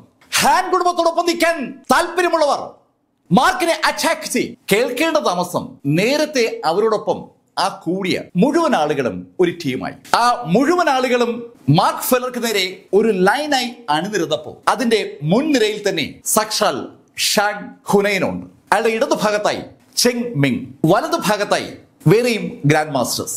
അവർക്ക് പുറയിലായിട്ടാണ് ഇപ്പോ ഹാൻ ഇല്ലോസിന്റെ ആ രണ്ട് ബോഡി ഗാർഡുകൾ നിൽക്കുന്നത്. മുഴുവൻ ആളുകളും ഒരു വശത്തേക്ക് അണിനിരുന്നപ്പോൾ അവർ പതുക്കെ പുറകോട്ട് ഇറങ്ങിയതാണ് ആ നിരന്നു നിൽക്കുന്ന ആളുകളുടെ നേരെ മാർക്ക് ഫില്ലർ നിൽക്കുമ്പോൾ മാർക്കിന്റെ ഇടതു ഭാഗത്തേക്ക് നോക്കി. അവിടെ കുറച്ച് ആളുകളുണ്ട്. ഡോക്ടർ ഡോങ്ങും അയാളുടെ അനുയായികളും പിന്നെ ആ നാഗർ സംഘവും വേറെ ചില ആളുകളുമാണ് അവിടെ ബാലൻസ് ഉള്ളത്. മാർക്ക് അവരെ നോക്കുന്ന അതേ സമയത്ത് ഡോങ്ങിന്റെ ശിഷ്യന്മാർ ഡോങ്ങിനോട് ചോദിച്ചു മാസ്റ്റർ നമ്മളും ഇടപെടണ്ടേ? നമുക്ക് ഇടപെടാം. ഇപ്പോ അല്ല. ഈ ഫൈറ്റ് അല്പം കഴിയുമ്പോൾ മാർക്ക് ക്ഷീണിക്കും. ആ സമയത്ത് നമുക്ക് മാർക്കിനെ അപകടപ്പെടുത്താം. അപ്പോൾ നമുക്കായിരിക്കും ക്രെഡിറ്റ് ഹാൻ കുടുംബം നമ്മളെ ആയിരിക്കും നോട്ട് ചെയ്യുക. ഹാൻ കുടുംബത്തിന്റെ ആ യങ് മാസ്റ്റർ ഹാൻ എലിനോസിനെ അപകടപ്പെടുത്താൻ ശ്രമിച്ച മാർക്ക് ഫെല്ലറെ കൊന്ന ആരെയും ഹാൻ കുടുംബം സഹായിക്കും. അക്കാര്യത്തിൽ ഡോക്ടർ ഡോങ്ങിന് സംശയമൊന്നുമില്ല. ഡോങ്ങും കൂട്ടരും ആ വാചകം പറയുമ്പോൾ ആ നാൽവർ സംഘം ഒരു അക്ഷരം പോലും മിണ്ടാതെ നിൽക്കുകയാണ്. അവരുടെ ലീഡർ ജിൻസൺ നിശബ്ദമായി ആ രംഗം നോക്കി നിൽക്കുകയാണ്. മാർക്കിനെ ഫേസ് ചെയ്യുന്ന ആളുകളെയും മാർക്കിനെയും. അത് കണ്ടത് വിനിഫെങ് അറിയാതെ പറഞ്ഞു പോവുകയാണ്. മാർക്ക് പെട്ടല്ലോ. മാർക്കിന്റെ കാര്യത്തിൽ ഒരു തീരുമാനമായെന്ന് ഒരു തോന്നൽ വിനിഫെങ്ങിനുണ്ട് വിനി നേരത്തെ വളരെ വിജയകരമായി മാർക്കിനെ രക്ഷിച്ചതാണ്. എന്താ ഇപ്പൊ ചെയ്യേണ്ടത്? അങ്ങനെ വിനി ആലോചിക്കുമ്പോൾ മാർക്ക് തന്റെ നേരെ നിൽക്കുന്ന ആളുകൾ നോക്കിയിട്ട് അവരോട് ചോദിച്ചു നിങ്ങൾ ഹാൻ കുടുംബത്തിന് വേണ്ടി നിൽക്കാൻ തീരുമാനിച്ചു അല്ലേ? അതെ ഞങ്ങൾ എല്ലാവരും ഹാൻ കുടുംബത്തിന് വേണ്ടി നിൽക്കും. നിങ്ങൾ ഹാൻ കുടുംബത്തിന്റെ വാലാട്ടി പട്ടികളായാൽ അതുകൊണ്ട് നിങ്ങൾക്ക് എന്താ ഉപയോഗം? മാർക്ക് ഫെല്ലർ ആൾക്കൂട്ടത്തെ നോക്കി ആ വാചകം പറഞ്ഞപ്പോ അതിന്റെ മുന്നിൽ നിൽക്കുന്ന സകലർക്കും തങ്ങളെ അപമാനിക്കാനായി മാർക്ക് ആ വാചകം പറഞ്ഞാണെന്ന് അറിയാം അവർ മാർക്കിനോട് പറഞ്ഞു ഏ മാർക്ക് നീ കൂടുതൽ വാചകമൊന്നും അടിക്കണ്ട. ഹാൻ കുടുംബവും നീയും തമ്മിൽ കമ്പയർ ചെയ്യുമ്പോൾ ഹാൻ കുടുംബമാണ് മഹത്തരമെന്ന് ആർക്കാ അറിഞ്ഞുകൂടാത്തത്? നിന്നെപ്പോലെ ഒരു പേരുമില്ലാത്ത ഒരാളുടെ കൂടെ നിൽക്കുന്നതിൽ ഒരർത്ഥവുമില്ല. അവരുടെ ചിന്തയാണ് വാക്കുകളായി പ്രതിഫലിച്ചത്. അത് കേട്ടതും മാർക്ക് പറഞ്ഞു ഓക്കെ അപ്പോ നിങ്ങളെ എല്ലാവരെയും ഞാൻ കൊല്ലുന്നതിൽ നിങ്ങൾക്ക് വിരോധമില്ല അല്ലേ? മാർക്ക് ഫെല്ലർ പറഞ്ഞ വാചകം ലേശൻ കടുത്തുപോയി എന്ന് പറയാം. മാർക്ക് പറഞ്ഞത് കേട്ടതും ആളുകൾ ആദ്യം ഒന്ന് അമ്പരന്നെങ്കിലും പിന്നെ അവരൊക്കെ ചിരിച്ചു. കൊള്ളാം. മാർക്ക് നിന്റെ ഈ ധൈര്യം ഞങ്ങൾക്ക് അങ്ങ് ഇഷ്ടമായി. അത് പറഞ്ഞത് ഷാങ്ക് ഹുനൈനാണ് ഷാങ്ക് ഹുനൈൻ അങ്ങനെ പറഞ്ഞിട്ട് മാർക്കിനോട് പറഞ്ഞു മാർക്ക് നിന്നെ ആർക്കെങ്കിലും വിട്ടുകൊടുക്കാൻ ഞാൻ തയ്യാറല്ല. നിന്നെ കൊല്ലുന്നത് ഞാൻ തന്നെയായിരിക്കും. അങ്ങനെ പറഞ്ഞുകൊണ്ട് ഷാങ്ക് ഹുനൈൻ മുന്നോട്ട് കുതിച്ചു. ശരിക്കും അതിശക്തനായ ഒരു ഗ്രാൻഡ് മാസ്റ്റർ മുന്നോട്ട് കുതിക്കുമ്പോൾ അയാളുടെ ആ വേഗതയ്ക്കൊപ്പം ഒരു എക്സ്റ്റേണൽ എനർജി കൂടി അയാൾക്കൊപ്പം മുന്നോട്ട് ചലിക്കുകയാണ്. ശരിക്കും ഒരു കാറ്റ് അയാൾ മുന്നോട്ട് കൊണ്ടുപോകാനെന്ന് പറയാം. ആ കാറ്റ് മുന്നോട്ട് പോകുമ്പോൾ ആ കാട്ടിനകത്തുള്ള ചെടികളും മരങ്ങളും എന്നിവയുടെ സകലതും അതിന്റെ ഫലമായിട്ട് ഒന്ന് ഉലയുകയാണ്. ഒരു കൊടുങ്കാറ്റ് സ്വാഭാവികമായും രൂപം കൊണ്ടുവന്ന് നമുക്ക് തോന്നും. ആ കാറ്റ് അതിശക്തമായി മാർക്കിന് നേരെ പാഞ്ഞു വന്നിട്ട് മാർക്കിന് ഒരു അറ്റ ഇടി. അതിശക്തമായ ആ ഒറ്റ ഇടിയിൽ സ്വാഭാവികമായും മാർക്ക് ഫെല്ലർ എന്ന ആ കിങ് ഓഫ് ചിൽഷെയർ അവസാനിക്കും. അക്കാര്യത്തിൽ ആ കാഴ്ച കാണുന്ന ആർക്ക് സംശയം ഉണ്ടാവില്ല. അത്ര പവർഫുൾ ആയിട്ടാണ് ഷുനൈൻ മാർക്കിനെ ഇടിച്ചത്. ഷുനൈന്റെ മുഖത്ത് ആ സന്തോഷം കാണാനുണ്ട്. അതിശക്തമായി ആഞ്ഞിടിച്ച ഷുനൈൻ പെട്ടെന്ന് ഒന്ന് ഞെട്ടി. അയാൾക്ക് എന്തോ ഒരു അസ്വസ്ഥ ഫീൽ ചെയ്തു. അമ്പരപ്പോൾ അയാൾ കൈ വലിക്കാൻ നോക്കിയപ്പോൾ കൈ വലിക്കാൻ പറ്റുന്നില്ല. ആ ഇടിക്കൊപ്പം ഉണ്ടായ കാറ്റും ആ പ്രകാശവും ഒക്കെ ഒന്ന് മാറുമ്പോൾ ആളുകൾക്ക് ആ കാഴ്ച കാണാം. മാർക്ക് ഫെല്ലർ ഒരു കൈകൊണ്ട് ഷാങ് ഹുനൈന്റെ കയ്യിലങ്ങ് പിടിച്ചിരിക്കുകയാണ്. ഷാങ് ഹുനൈന്റെ കൈയുടെ റിസ്റ്റിലാണ് മാർക്ക് പിടിച്ചിരിക്കുന്നത്. ഇത്ര ശക്തമായ വേഗതയിൽ പവറിൽ മാർക്ക് ഫെല്ലറെ ഇടിച്ച ഷാങ് ഹുനൈന്റെ കൈ അങ്ങനെ മാർക്ക് ഫെല്ലർ പിടിക്കുമെന്ന് സ്വപ്നത്തിൽ പോലും ആരും കരുതിയതല്ല. മാർക്ക് ഫെല്ലറെ കയ്യിൽ നിന്ന് വിടിക്കാനായിട്ട് ഷാഖുനെ ഒരു ശ്രമം നടത്തുന്നുണ്ട്. ഷാഖുനെ കൈ വലിച്ചെടുക്കുകയാണ്. അയാൾ അയാളുടെ വലത് കൈ വലിച്ചെടുക്കാൻ ശ്രമിക്കുമ്പോൾ മാർക്ക് ഫെല്ലർ മാർക്ക് ഫെല്ലറുടെ ഇടത് കൈ കൊണ്ട് ഒരു ഒറ്റ ഇടി. ഹുനൈൻ മാർക്കിന്റെ ആ കൈയുടെ അകത്താ നിൽക്കുന്നത്. അതിന്റെ ഫലമായി മാർക്കിന്റെ ഇടത് കൈ കൊണ്ടുള്ള ആ പഞ്ച് കൃത്യമായിട്ട് ഷാങ്കിന്റെ കവിളിൽ തന്നെ ഇടിച്ചു. ആളുകൾക്ക് ആ കാഴ്ച കാണാം. കവിളിലേക്ക് ആ കൈ എങ്ങനെ ഇടിക്കുമ്പോൾ ഷാഖ് ഹുനൈന്റെ ആ മത്തങ്ങ തല അതുപോലെ ഒന്ന് കറങ്ങുന്നതും വായ്ക്കകത്തുനിന്ന് ചോര തെറിക്കുന്നതും വളരെ വളരെ വിസിബിളാണ് ഒറ്റ ഇടിക്ക് ഗ്രാൻഡ് മാസ്റ്ററായ ഷാഖ് ഹുനൈന്റെ വായിന്ന് ചോര തെറിപ്പിച്ചിരിക്കുകയാണ്. കാണുന്ന കാഴ്ച വിശ്വസിക്കണമോ വേണ്ടയോ എന്നൊരു സംശയം സ്വാഭാവികമായിട്ടും ആൾക്കൂട്ടത്തിനുണ്ട്. ഞെട്ടി നിൽക്കുന്നത് സഷൽ ഡൂവൻ ഷൈനാണ്. അവന്റെ ഇടിയേറ്റ് തെറിച്ച അതേ മാർക്ക് ഫെല്ലറാണ് ഇപ്പൊ ഇതാ ഒരു ഗ്രാൻഡ് മാസ്റ്ററെ ഒരു കൈ പിടിച്ചു വെച്ചിട്ട് മറു കൈ കൊണ്ട് ഇടിക്കുന്നത്. ഇടിയേറ്റ് കറങ്ങിപ്പോയ ഷാഹുനെ ശരിക്കും അയാളുടെ പൂർണ ശക്തിയെടുത്ത് ഒന്ന് കുടഞ്ഞ് മാർക്കിന്റെ പിടിയിൽ നിന്ന് രക്ഷപ്പെട്ടു. അയാൾ ഏതാനും സ്റ്റെപ്പ് പുറകോട്ട് മാറി. ശരിക്കും ഒരു ഭയം അയാളിലുണ്ട്. അത് കണ്ടതും ആരോ ആൾക്കൂടത്ത് വിളിച്ചു പറഞ്ഞു മാർക്കിന്റെ അടുത്ത് ചെല്ലരുത്. അവന്റെ ബോഡി ശക്തമാണ്. നേരത്തെ ഹാൻ ഇലിനോസ് മാർക്കിന്റെ പുറത്ത് ഇടിച്ചപ്പോ അവരെല്ലാവരും അത് ഉറപ്പാക്കിയതാണ്. മാർക്കിന്റെ പുറത്ത് ഇടിച്ച ഹാൻ ഏതാനും അടി പുറകിലേക്ക് തെറിക്കുകയായിരുന്നു. അവന്റെ ബോഡിക്ക് ഒരു വല്ലാത്ത കവറിങ് ഉണ്ട്. ഒരു ഇരുമ്പിന്റെ കവർ എന്നൊക്കെ പറയാവുന്ന ശൈലിയുടെ കവറാണ് ആ കവർ വിസിബിൾ അല്ലെങ്കിലും എന്തോ ഒരു കുഴപ്പം അവന്റെ ബോഡിയിൽ ഉണ്ടെന്ന് സകലർക്കും ഒരു ബോധ്യമുണ്ട്. അതുകൊണ്ട് അവന്റെ ബോഡി തൊടാതെ മാറി നിൽക്കണം. കാര്യം മനസ്സിലായ ഹാൻ ഒന്ന് ചിരിച്ചു. മാർക്ക് നിന്റെ ഈ കളി എന്റെ അടുത്ത് വേണ്ട. നിനക്ക് ഒരു ബോഡി ഉണ്ടെന്നുള്ള കാര്യം എനിക്ക് മനസ്സിലായി. ശക്തമായ ബോഡിയാണ് ആ ബോഡി ഉപയോഗിച്ച് നീ എന്നെ പിടിച്ചുകളയെന്ന് വിചാരിച്ചാൽ അത് നടക്കത്തില്ല. ഇടാ ഗ്രാൻഡ് മാസ്റ്റർ എന്ന് പറയുന്നത് അതൊരു അപ്പുറത്താണ്. അങ്ങനെ പറഞ്ഞിട്ട് അയാൾ ഒരു മാന്ത്രിക സ്പെല്ല് അവിടെ സൃഷ്ടിക്കുകയാണ്. ശരിക്കും പെട്ടെന്ന് അയാൾ കൈ നനക്കിയപ്പോൾ അയാൾക്ക് മുന്നിൽ ഒരു തീഗോളം ഉണ്ടാവുകയാണ്. ശക്തമായ ഒരു പ്രകാശമാണ് ആദ്യം ഉണ്ടായത്. അത് പെട്ടെന്നൊരു ഗോളമായി അങ്ങ് മാറുകയാണ്. ആ ഗോളം അയാളുടെ കയ്യിലേക്ക് വന്നപ്പോൾ നമുക്ക് തോന്നും അയാളുടെ കൈ വിറയ്ക്കുന്നു അയാൾ ആ ഗോളം എടുത്ത് ഒരച്ചയേറി ആ നിമിഷത്തിൽ മാർക്ക് ഫെല്ലർ മുന്നോട്ട് കുതിച്ചിരുന്നു. ശരിക്കും അമ്പരപ്പിക്കുന്ന വേഗതയിൽ മാർക്ക് ഫെല്ലർ ആ ഗോളത്തിലേക്ക് ഇടിക്കുന്നതാണ് ആളുകൾ കാണുന്നത്. ആ ഇടിയുടെ ശക്തിയിൽ ആ ഗോളം ഇങ്ങനെ ചിതറുമ്പോൾ അവിടെ മുഴുവൻ പ്രകാശത്തിന്റെ ഒരു വലയം സൃഷ്ടിക്കപ്പെടുകയാണ്. പക്ഷെ അടുത്ത നിമിഷത്തിൽ ആളുകൾ കണ്ടു ആ പ്രകാശ വലയത്തിനകത്തുകൂടി മാർക്ക് ഫെല്ലർ ഷാങ്ക് ഹുനന്റെ തൊട്ടടുത്ത് എത്തിയിട്ടുണ്ട്. ഷാങ്ക് ഹുനൻ എന്താണ് സംഭവിക്കുന്നത് മനസ്സിലാകും മുമ്പ് മാർക്ക് ഫെല്ലറുടെ വലത് കൈ ഉയർന്നു പോയി ബൗളിൽ നിന്ന് താഴേക്കൊന്ന് പതിച്ചു. ആ നിമിഷത്തിൽ ഷാങ് ഹുര എന്ന ഗ്രാൻഡ് മാസ്റ്റർ തല ചിന്നിച്ചിതറുകയാണ് ഇതൊക്കെ കണ്ണഞ്ചിക്കുന്ന വേഗത്തിലാണ് സംഭവിച്ചത്. ഷാങ് ഹുനൈൻ എന്ന ഗ്രാൻഡ് മാസ്റ്റർ തല പൊട്ടിച്ചിതറി അവിടെ അങ്ങനെ വീണപ്പോ പെട്ടെന്ന് ആ എന്റയർ മേഖലയിലും ഒരു നിശബ്ദത ഉണ്ടായി ശ്വാസം എടുക്കാൻ പോലും ആളുകൾക്ക് ഒരു ബുദ്ധിമുട്ട് ഫീൽ ചെയ്യണം ഏതാനും സെക്കൻഡുകൾ മാത്രമാണ് ഷാങ്ക് ഹുനൈനും മാർക്ക് ഫെല്ലറും തമ്മിലുള്ള ഫൈറ്റ് നിലനിന്നത്. അതിനിടയിൽ ഷാങ്ക് എന്ന ഗ്രാൻഡ് മാസ്റ്ററെ ഒരു ഇന്റേണൽ സ്ട്രെങ്ത് മാസ്റ്റർ മാത്രമായ മാർക്ക് ഫെല്ലർ കൊലപ്പെടുത്തിയിരിക്കുകയാണ്. ഇപ്പോ ഒരു ഭയം സകലരിലും വന്നിട്ടുണ്ട്. ആളുകൾ ഭയന്നത് മനസ്സിലായതും സാവധാനം എണീറ്റ് മരത്തിൽ ചാരി കഴിഞ്ഞിരുന്ന ഹാൻ ഇലിനോസ് ആളുകളോട് പറഞ്ഞു ഏയ് നിങ്ങൾ ഒറ്റയ്ക്ക് ആക്രമിക്കാതെ ഒന്നിച്ച് ആക്രമിക്കുക വിടരുത്. കൊല്ലണം അവനെ. കേൾക്കേണ്ട താമസം ചാങ് മെങ്ങും കൂടെയുള്ള ആളുകളും ഒന്നിച്ച് മുന്നോട്ട് കുതിച്ചു. ശരിക്കും മുന്നോട്ട് കുതിക്കുന്ന ആളുകൾ ഇപ്പോ പത്ത് പേരാണ്. പത്ത് പേരും ഗ്രാൻഡ് മാസ്റ്റേഴ്സ് ആണ് പത്ത് ആളുകളും മുന്നോട്ട് കുതിച്ചതും മാർക്ക് ഫെല്ലറും മുന്നോട്ട് കുതിച്ചു. മാർക്ക് ഫെല്ലർ ആദ്യം എത്തിയത് സാക്ഷൽ ചാങ് മെങ്ങിന്റെ മുന്നിൽ തന്നെയാണ്. ചാങ്ങിന്റെ മുന്നിൽ മാർക്ക് എങ്ങനെ എത്തിയെന്ന് ചാങ്ങിന് ഒരു പിടിയില്ല. ചാങ് മുന്നോട്ട് കുതിക്കുമ്പോൾ അതിനേക്കാൾ വേഗതയിൽ മാർക്ക് മുന്നോട്ട് കുതിക്കുകയായിരുന്നു. തൊട്ട് മുന്നിൽ മാർക്ക് ഫെല്ലറെ കണ്ടപ്പോൾ ചാങ് ഒന്ന് നടുങ്ങി. ശരിക്കും അയാൾ മുന്നോട്ട് കുതിക്കാനുള്ള സ്റ്റെപ്പ് ഇട്ടതേ ഉള്ളൂ. അപ്പോഴത്തേക്ക് മാർക്ക് മുന്നിലേക്ക് പ്രത്യക്ഷപ്പെടുകയായിരുന്നു. ഒന്ന് ഞെട്ടി ചാങ് പിന്നോട്ട് മാറാൻ പോയതും മാർക്ക് അവന്റെ കഴുത്തിലങ്ങ് പിടിച്ചു. ഗ്രാൻഡ് മാസ്റ്റർ ചാങ്ങിന്റെ കഴുത്തിൽ മാർക്ക് ഫെല്ലറുടെ കൈ അങ്ങനെ പതിയപ്പോ പുറകെ ഓടി വരികയായിരുന്ന മറ്റ് ഗ്രാൻഡ് മാസ്റ്റേഴ്സ് പെട്ടെന്ന് നിന്നു പോവുകയാണ്. അവർക്ക് അങ്ങോട്ട് വിശ്വസിക്കാൻ പറ്റുന്നില്ല. ഇതാ ചാങ് മെങ് എന്ന മെങ് മേഖലയിലെ ആ ഗ്രാൻഡ് മാസ്റ്ററെ മാർക്ക് ഫെല്ലർ കൈ കൊണ്ട് ഇങ്ങനെ പൊക്കുകയാണ്. ശരിക്കും ചാങ്ങിന്റെ കഴുത്തിൽ മാർക്ക് ഇങ്ങനെ പിടിച്ചിരിക്കുകയാണ്. ഭയന്ന് പോയ ചാങ് മാർക്കിനോട് പറയാണ് മാർക്ക് പ്ലീസ് പ്ലീസ് പ്ലീസ് എന്നെ കൊല്ലരുത് മാർക്ക്. മാർക്കിനെ കൊല്ലാനായി ഓടി വന്ന അതേ ചാങ്മാൻ അടുത്ത നിമിഷത്തിൽ മാർക്കിനോട് പറയുകയാണ് മാർക്ക് പ്ലീസ് എന്നെ കൊല്ലരുത് എന്ന്. അത് ചാങ് പറഞ്ഞ നിമിഷത്തിൽ മാർക്കിന്റെ വലത് കൈ ഒരു പ്രത്യേക ശൈലിയിൽ ചാങ്ങിന്റെ തലയിലേക്ക് വന്നു. ശരിക്കും മൂന്ന് വിരലുകൊണ്ട് ചാങ്ങിന്റെ തലയിൽ ഒരു കറക്ക് മാർക്ക് കറക്കി എന്തോ വലിച്ചു. മാർക്ക് എന്താ ചെയ്യുന്നത്?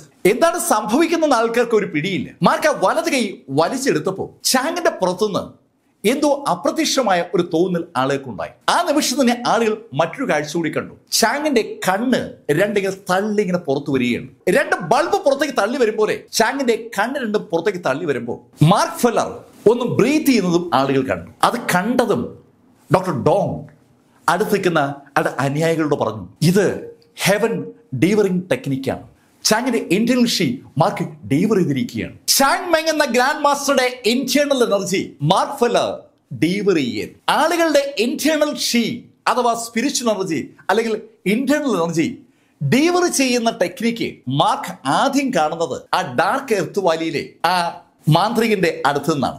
മാർക്കിന്റെ ആളുകളുമായി ഏറ്റുമുട്ടുന്ന സമയത്ത് അയാൾ കൂടെയുള്ള ആളുകളുടെ ഇന്റേണൽ ഷീ ഡീവർ മാർക്ക് കണ്ടിരുന്നു. അന്നാണ് മാർക്ക് യഥാർത്ഥത്തിൽ ആ ഡീവറിങ്ങിനെ കുറിച്ച് പഠിക്കുന്നത്. മാർക്കിന്റെ അച്ഛന്റെ ശേഖരത്തിൽ ആ ഹെവൻ ഡീവറിംഗ് ടെക്നിക്ക് ഉണ്ടായിരുന്നു. ഹാരോവന്റെ ടെക്നിക്കിനേക്കാൾ വളരെ വളരെ മുകളിൽ നിൽക്കുന്ന ആ ടെക്നിക്ക് മാർക്ക് ശരിക്കും ഈ കഴിഞ്ഞ ദിവസങ്ങളിൽ ഹൃദ്യസ്ഥമാക്കിയിരുന്നു. അത് പരീക്ഷിച്ചു നോക്കാൻ മാർക്കിന് ഇതാ ഒരു അവസരം കിട്ടിയിരിക്കുകയാണ്.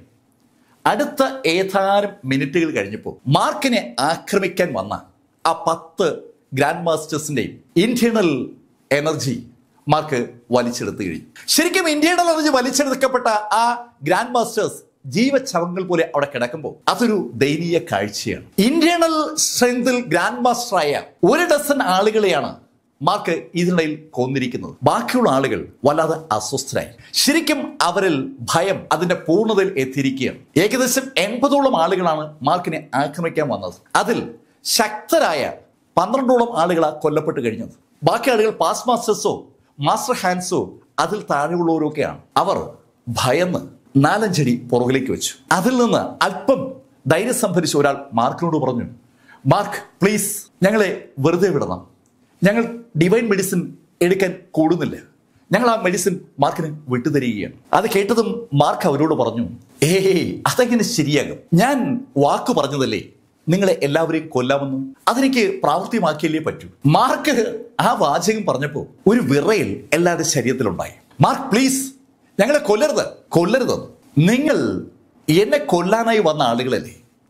ആ നിങ്ങൾ എന്നോട് പറയുന്നു ഞാൻ നിങ്ങളെ കൊല്ലരുതെന്ന് സോറി എനിക്ക് അത് കേൾക്കാൻ താല്പര്യമില്ല.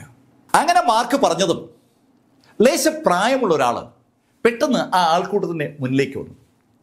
ഏയ് മാർക്ക് ഞാൻ മാസ്റ്റർ ഫെലിക്സ്. ആണ് എന്റെ ഗുരുനാഥനാണ് ഗ്രിഗറി. മാർക്ക് പ്ലീസ് ഈ ഫൈറ്റ് ഇവിടെ അവസാനിപ്പിക്കും. അയാൾ അങ്ങനെ പറഞ്ഞപ്പോൾ ആ ആൾക്കൂട്ടം മുഴുവൻ അമ്പരപ്പോടെയാണ് ആ മനുഷ്യനെ നോക്കുന്നത്. സത്യത്തിൽ ഇപ്പോഴാണ് അവർ ആ ആളെ കാണുന്നത് തന്നെ.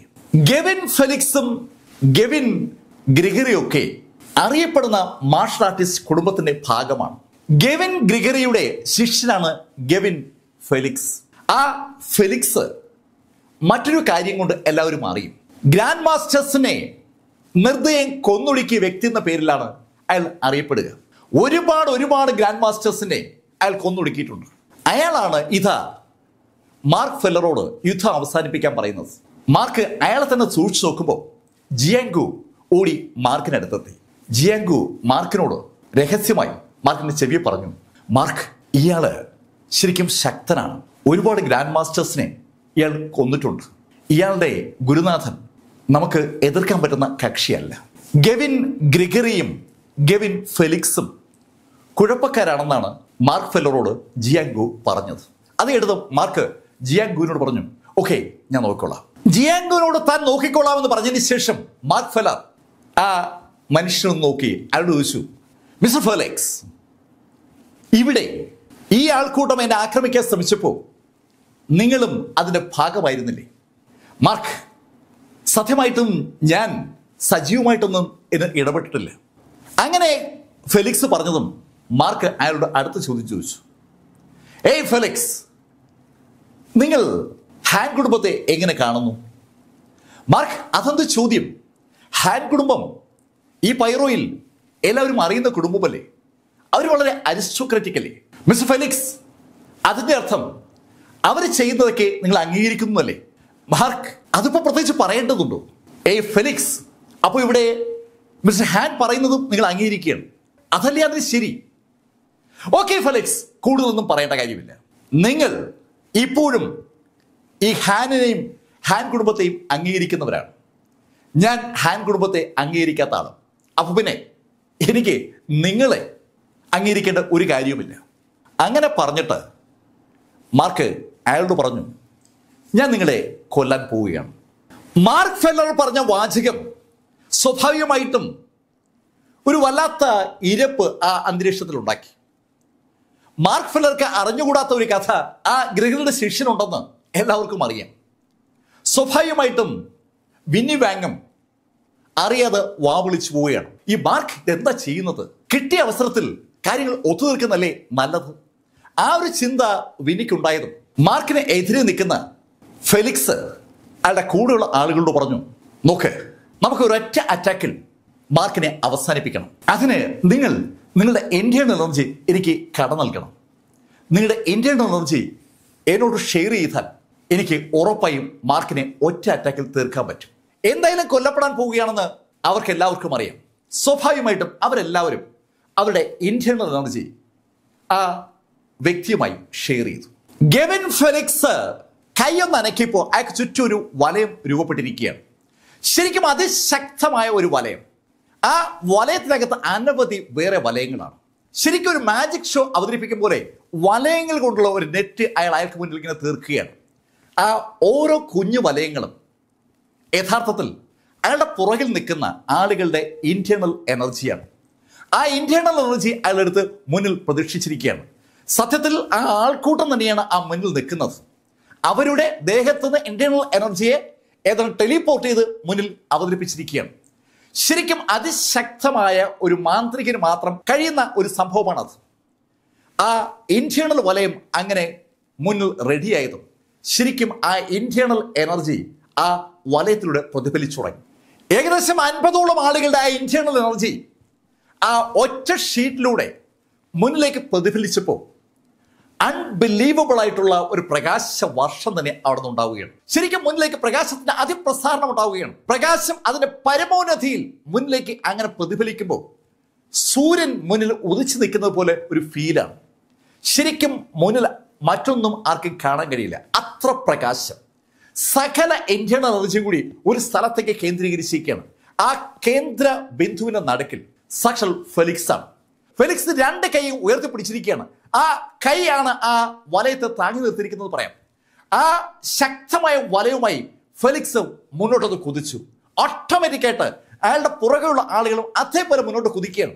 മാർക്ക് ഫെല്ലർക്ക് നേരെ ഒറ്റ അറ്റാക്കിൽ അവർ മുന്നോട്ട് കുതിക്കുമ്പോൾ മാർക്ക് ഫെല്ലർ അയാളുടെ വലത് കൈ ഒന്നെടുത്തു അതിനുശേഷം മാർക്ക് ഫെല്ലർ പറഞ്ഞു അബ്സല്യൂട്ട് സേക്രഡ് ഫിസ്റ്റ് മാർക്ക് ഫെല്ലറുടെ അച്ഛന്റെ ലൈബ്രറിയിൽ നിന്ന് മാർക്ക് പഠിച്ചിരിക്കുന്ന ആ മാന്ത്രിക സ്പെൽ മാർക്ക് മാർക്കിന്റെ വലത് കൈയിലേക്ക് കൊണ്ടുവരികയാണ്.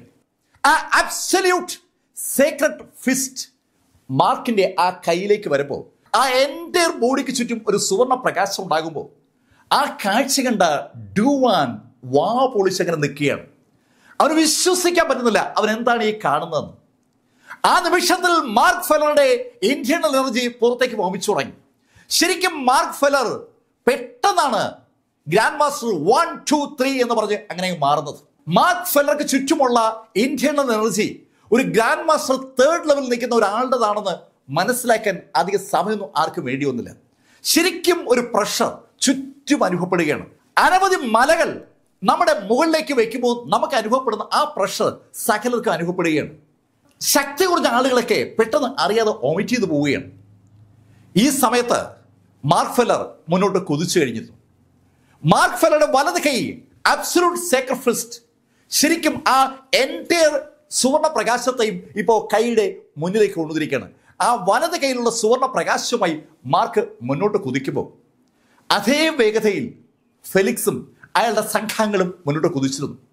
ആ ഫെലിക്സിന്റെ മറയിലേക്ക് മാർക്കിന്റെ ആ മുഷ്ടി ഇടിച്ചു കയറുമ്പോൾ ഒരു തീപ്പൊരി ചിതറുന്നതാണ് ആളുകൾ കാണുന്നത്. തീപ്പൊരിയും പ്രകാശവും ശബ്ദവും എന്നുവേണ്ട ആകെ ഒരു ബഹളമാണ്. ആ ബഹളം ഒന്ന് ഒടുങ്ങുമ്പോൾ ആളുകൾ ആ കാഴ്ച കണ്ടു. മാർക്ക് ഫെലറുടെ വലത് കൈ തൊട്ട് പുറകിൽ നിൽക്കുന്ന ആ ഫെലിക്സിന്റെ തലയിൽ ഇടിച്ച് കയറുന്ന കാഴ്ച. ആ ഒരൊറ്റ ഇടിയിൽ ഫെലിക്സിന്റെ തല ചിതറുന്നതാണ് ആളുകൾ കാണുന്നത്.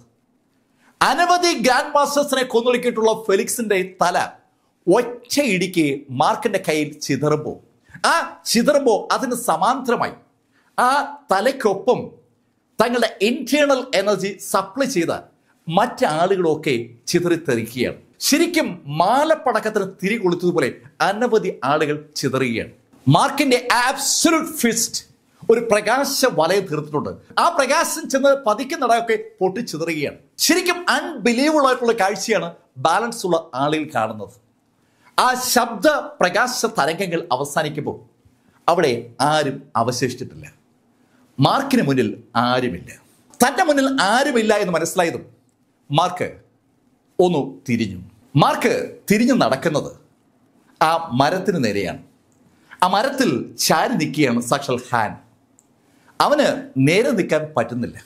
മാർക്ക് അവന്റെ നേരെ നടന്നു വരുമ്പോൾ അവന്റെ രണ്ട് ബോഡി ഗാർഡുകളും ആ അവനെ പ്രൊട്ടക്റ്റിനായി മുന്നോട്ട് കയറി. ഏ മാർക്ക് ഇത് മാസ്റ്റർ ഹാനാണ്. അടുത്തു വരരുത്. അങ്ങനെ ആ ഒരു ബോഡി ഗാർഡ് പറഞ്ഞതും മാർക്ക് അയാളോട് പറഞ്ഞു മാറുന്നൊക്കെ അത് കേൾക്കാതെ അയാൾ മാർക്കിനോട് പറഞ്ഞു മാർക്ക് വരരുത്. മാർക്ക് അടുത്തോട്ട് വരരുത്. ഇത് ഹാൻഡ് കുടുംബത്തിലെ യങ് മാസ്റ്ററാണ്. മാർക്കിനെ കൂടുതൽ സംസാരിക്കാൻ താല്പര്യമില്ലെന്ന് അടുത്ത നിമിഷം അയാൾക്ക് സ്വയം ബോധ്യപ്പെട്ട് കാണും. കാരണം മാർക്കിനെ ഇടത് കൈ ഒന്ന് ചലിക്കുമ്പോൾ ആ ഇടത് കൈ ഉണ്ടാക്കിയ ഫോഴ്സിൽ ആ ഗ്രാൻഡ് മാസ്റ്റർ ശരിക്കും ഒന്ന് തെറിക്കുന്നതും സമീപത്തുള്ള ഒരു മരത്തിലിടിച്ച് താഴെ വീഴുന്നതും ആളുകൾക്ക് കാണാം. അയാൾ ആ മരത്തിലിടിച്ച് താഴെ വീഴുമ്പോൾ അതോടുകൂടി അയാൾ അവസാനിക്കുകയാണ്. ശരിക്കും അയാളുടെ തല കഴുത്തിൽ നിന്ന് വേർപെട്ടിട്ടുണ്ട്. ആ കഴുത്താണ് മരത്തിലിടിച്ചിരിക്കുന്നത് ഈ സമയത്ത് ഹാനൊപ്പമുള്ള ആ രണ്ടാമത്തെ ബോഡി ഗാർഡ് ഭയന്ന് ഹാന്റെ പുറകിലോട്ട് മാറി. പക്ഷെ ഹാൻ മരത്തിൽ ചാരി നിൽക്കുകയാണെങ്കിലും ഭയക്കാതെ മാർക്കിനോട് പറഞ്ഞു ഏയ് മാർക്ക് നീ അവിവേകമാണ് കാണിച്ചത്. നീ എന്റെ ബോഡി ഗാർഡിനെ കൊന്നത്. ഇതിന്റെ ഫലം എന്താണെന്ന് എനിക്ക് അറിയാവൂ ഏയ് ഹാൻ നിന്റെ ബോഡി ഗാർഡിനെ കൊന്നാൽ ഞാൻ ഭയക്കണമല്ലേ? അതേ മാർക്ക് നീ ഭയക്കണം.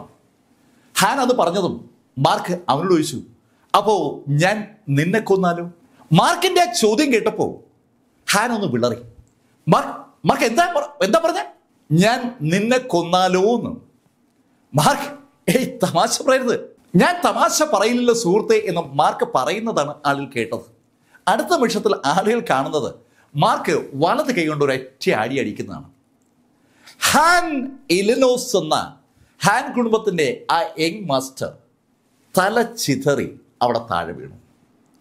അവന്റെ തല ചിതറി അവൻ താഴേക്ക് വീഴുമ്പോൾ അവന്റെ പുറത്തു നിന്ന് മാംസകഷ്ണങ്ങളും രക്തവും പൊട്ടിച്ചിതറുമ്പോൾ അതിൽ പലതും വന്നു വീണത് തൊട്ടു പുറകിലുണ്ടായിരുന്ന ആ ബോഡി ഗാർഡിന്റെ പുറത്താണ്. അവൻ കണ്ണടച്ചു പിടിച്ചിരിക്കുകയാണ്. ശരിക്കും അയാൾ നിന്ന് വിറയ്ക്കുന്നുണ്ട്. അയാൾ അങ്ങനെ വിറയ്ക്കുമ്പോൾ അയാൾ അല്പനേരം മാർക്ക് ഇങ്ങനെ നോക്കി നിന്നു. ആ മനുഷ്യൻ കണ്ണു തുറക്കുമ്പോൾ അയാളെ തന്നെ നോക്കി നിൽക്കുന്ന മാർക്കിനെയാണ് അയാൾ കണ്ടത്. അയാൾ പെട്ടെന്ന് മുട്ടടിച്ച് താഴെ വീണു. മുട്ടടിച്ച് താഴെ വീണ അയാൾ തല തറയിൽ താഴ്ത്തി പിടിച്ചുകൊണ്ട് മാർക്കിനോട് പറഞ്ഞു മാർക്ക് ദയവായി എന്നെ കൊല്ലരുത്. അത് കേട്ടത് മാർക്ക് അയാളോട് പറഞ്ഞു ഇല്ല ഞാൻ നിന്നെ കൊല്ലുന്നില്ല. അങ്ങനെ പറഞ്ഞിട്ട് മാർക്ക് അയാളോട് പറഞ്ഞു എണീക്ക്. അയാൾ എണീറ്റതും മാർക്ക് അയാളോട് പറഞ്ഞു ഞാൻ നിന്നെ കൊല്ലാത്തതിന്റെ കാരണം അറിയാവോ? അവൻ അറിയില്ല എന്ന ശൈലിയിൽ മാർക്കിന്റെ മുഖത്ത് നോക്കി തലയാട്ടിയപ്പോ മാർക്ക് അവനോട് പറഞ്ഞു നീ മടങ്ങി ചെല്ലണം. നീ അങ്ങ് ന്യൂ സെലസ് ചെല്ലണം. അവിടെ ഹാൻ കുടുംബത്തിൽ ചെന്ന് ആ ഹാൻ വിൽമൗണ്ടിനോട് പറയണം. ഞാനാണ്. അവന്റെ കസിൻ ഹാൻ ഇലിനോസിനെ കൊന്നതെന്ന് എന്നിട്ട് ഒരു കാര്യം കൂടി നീ പറയണം.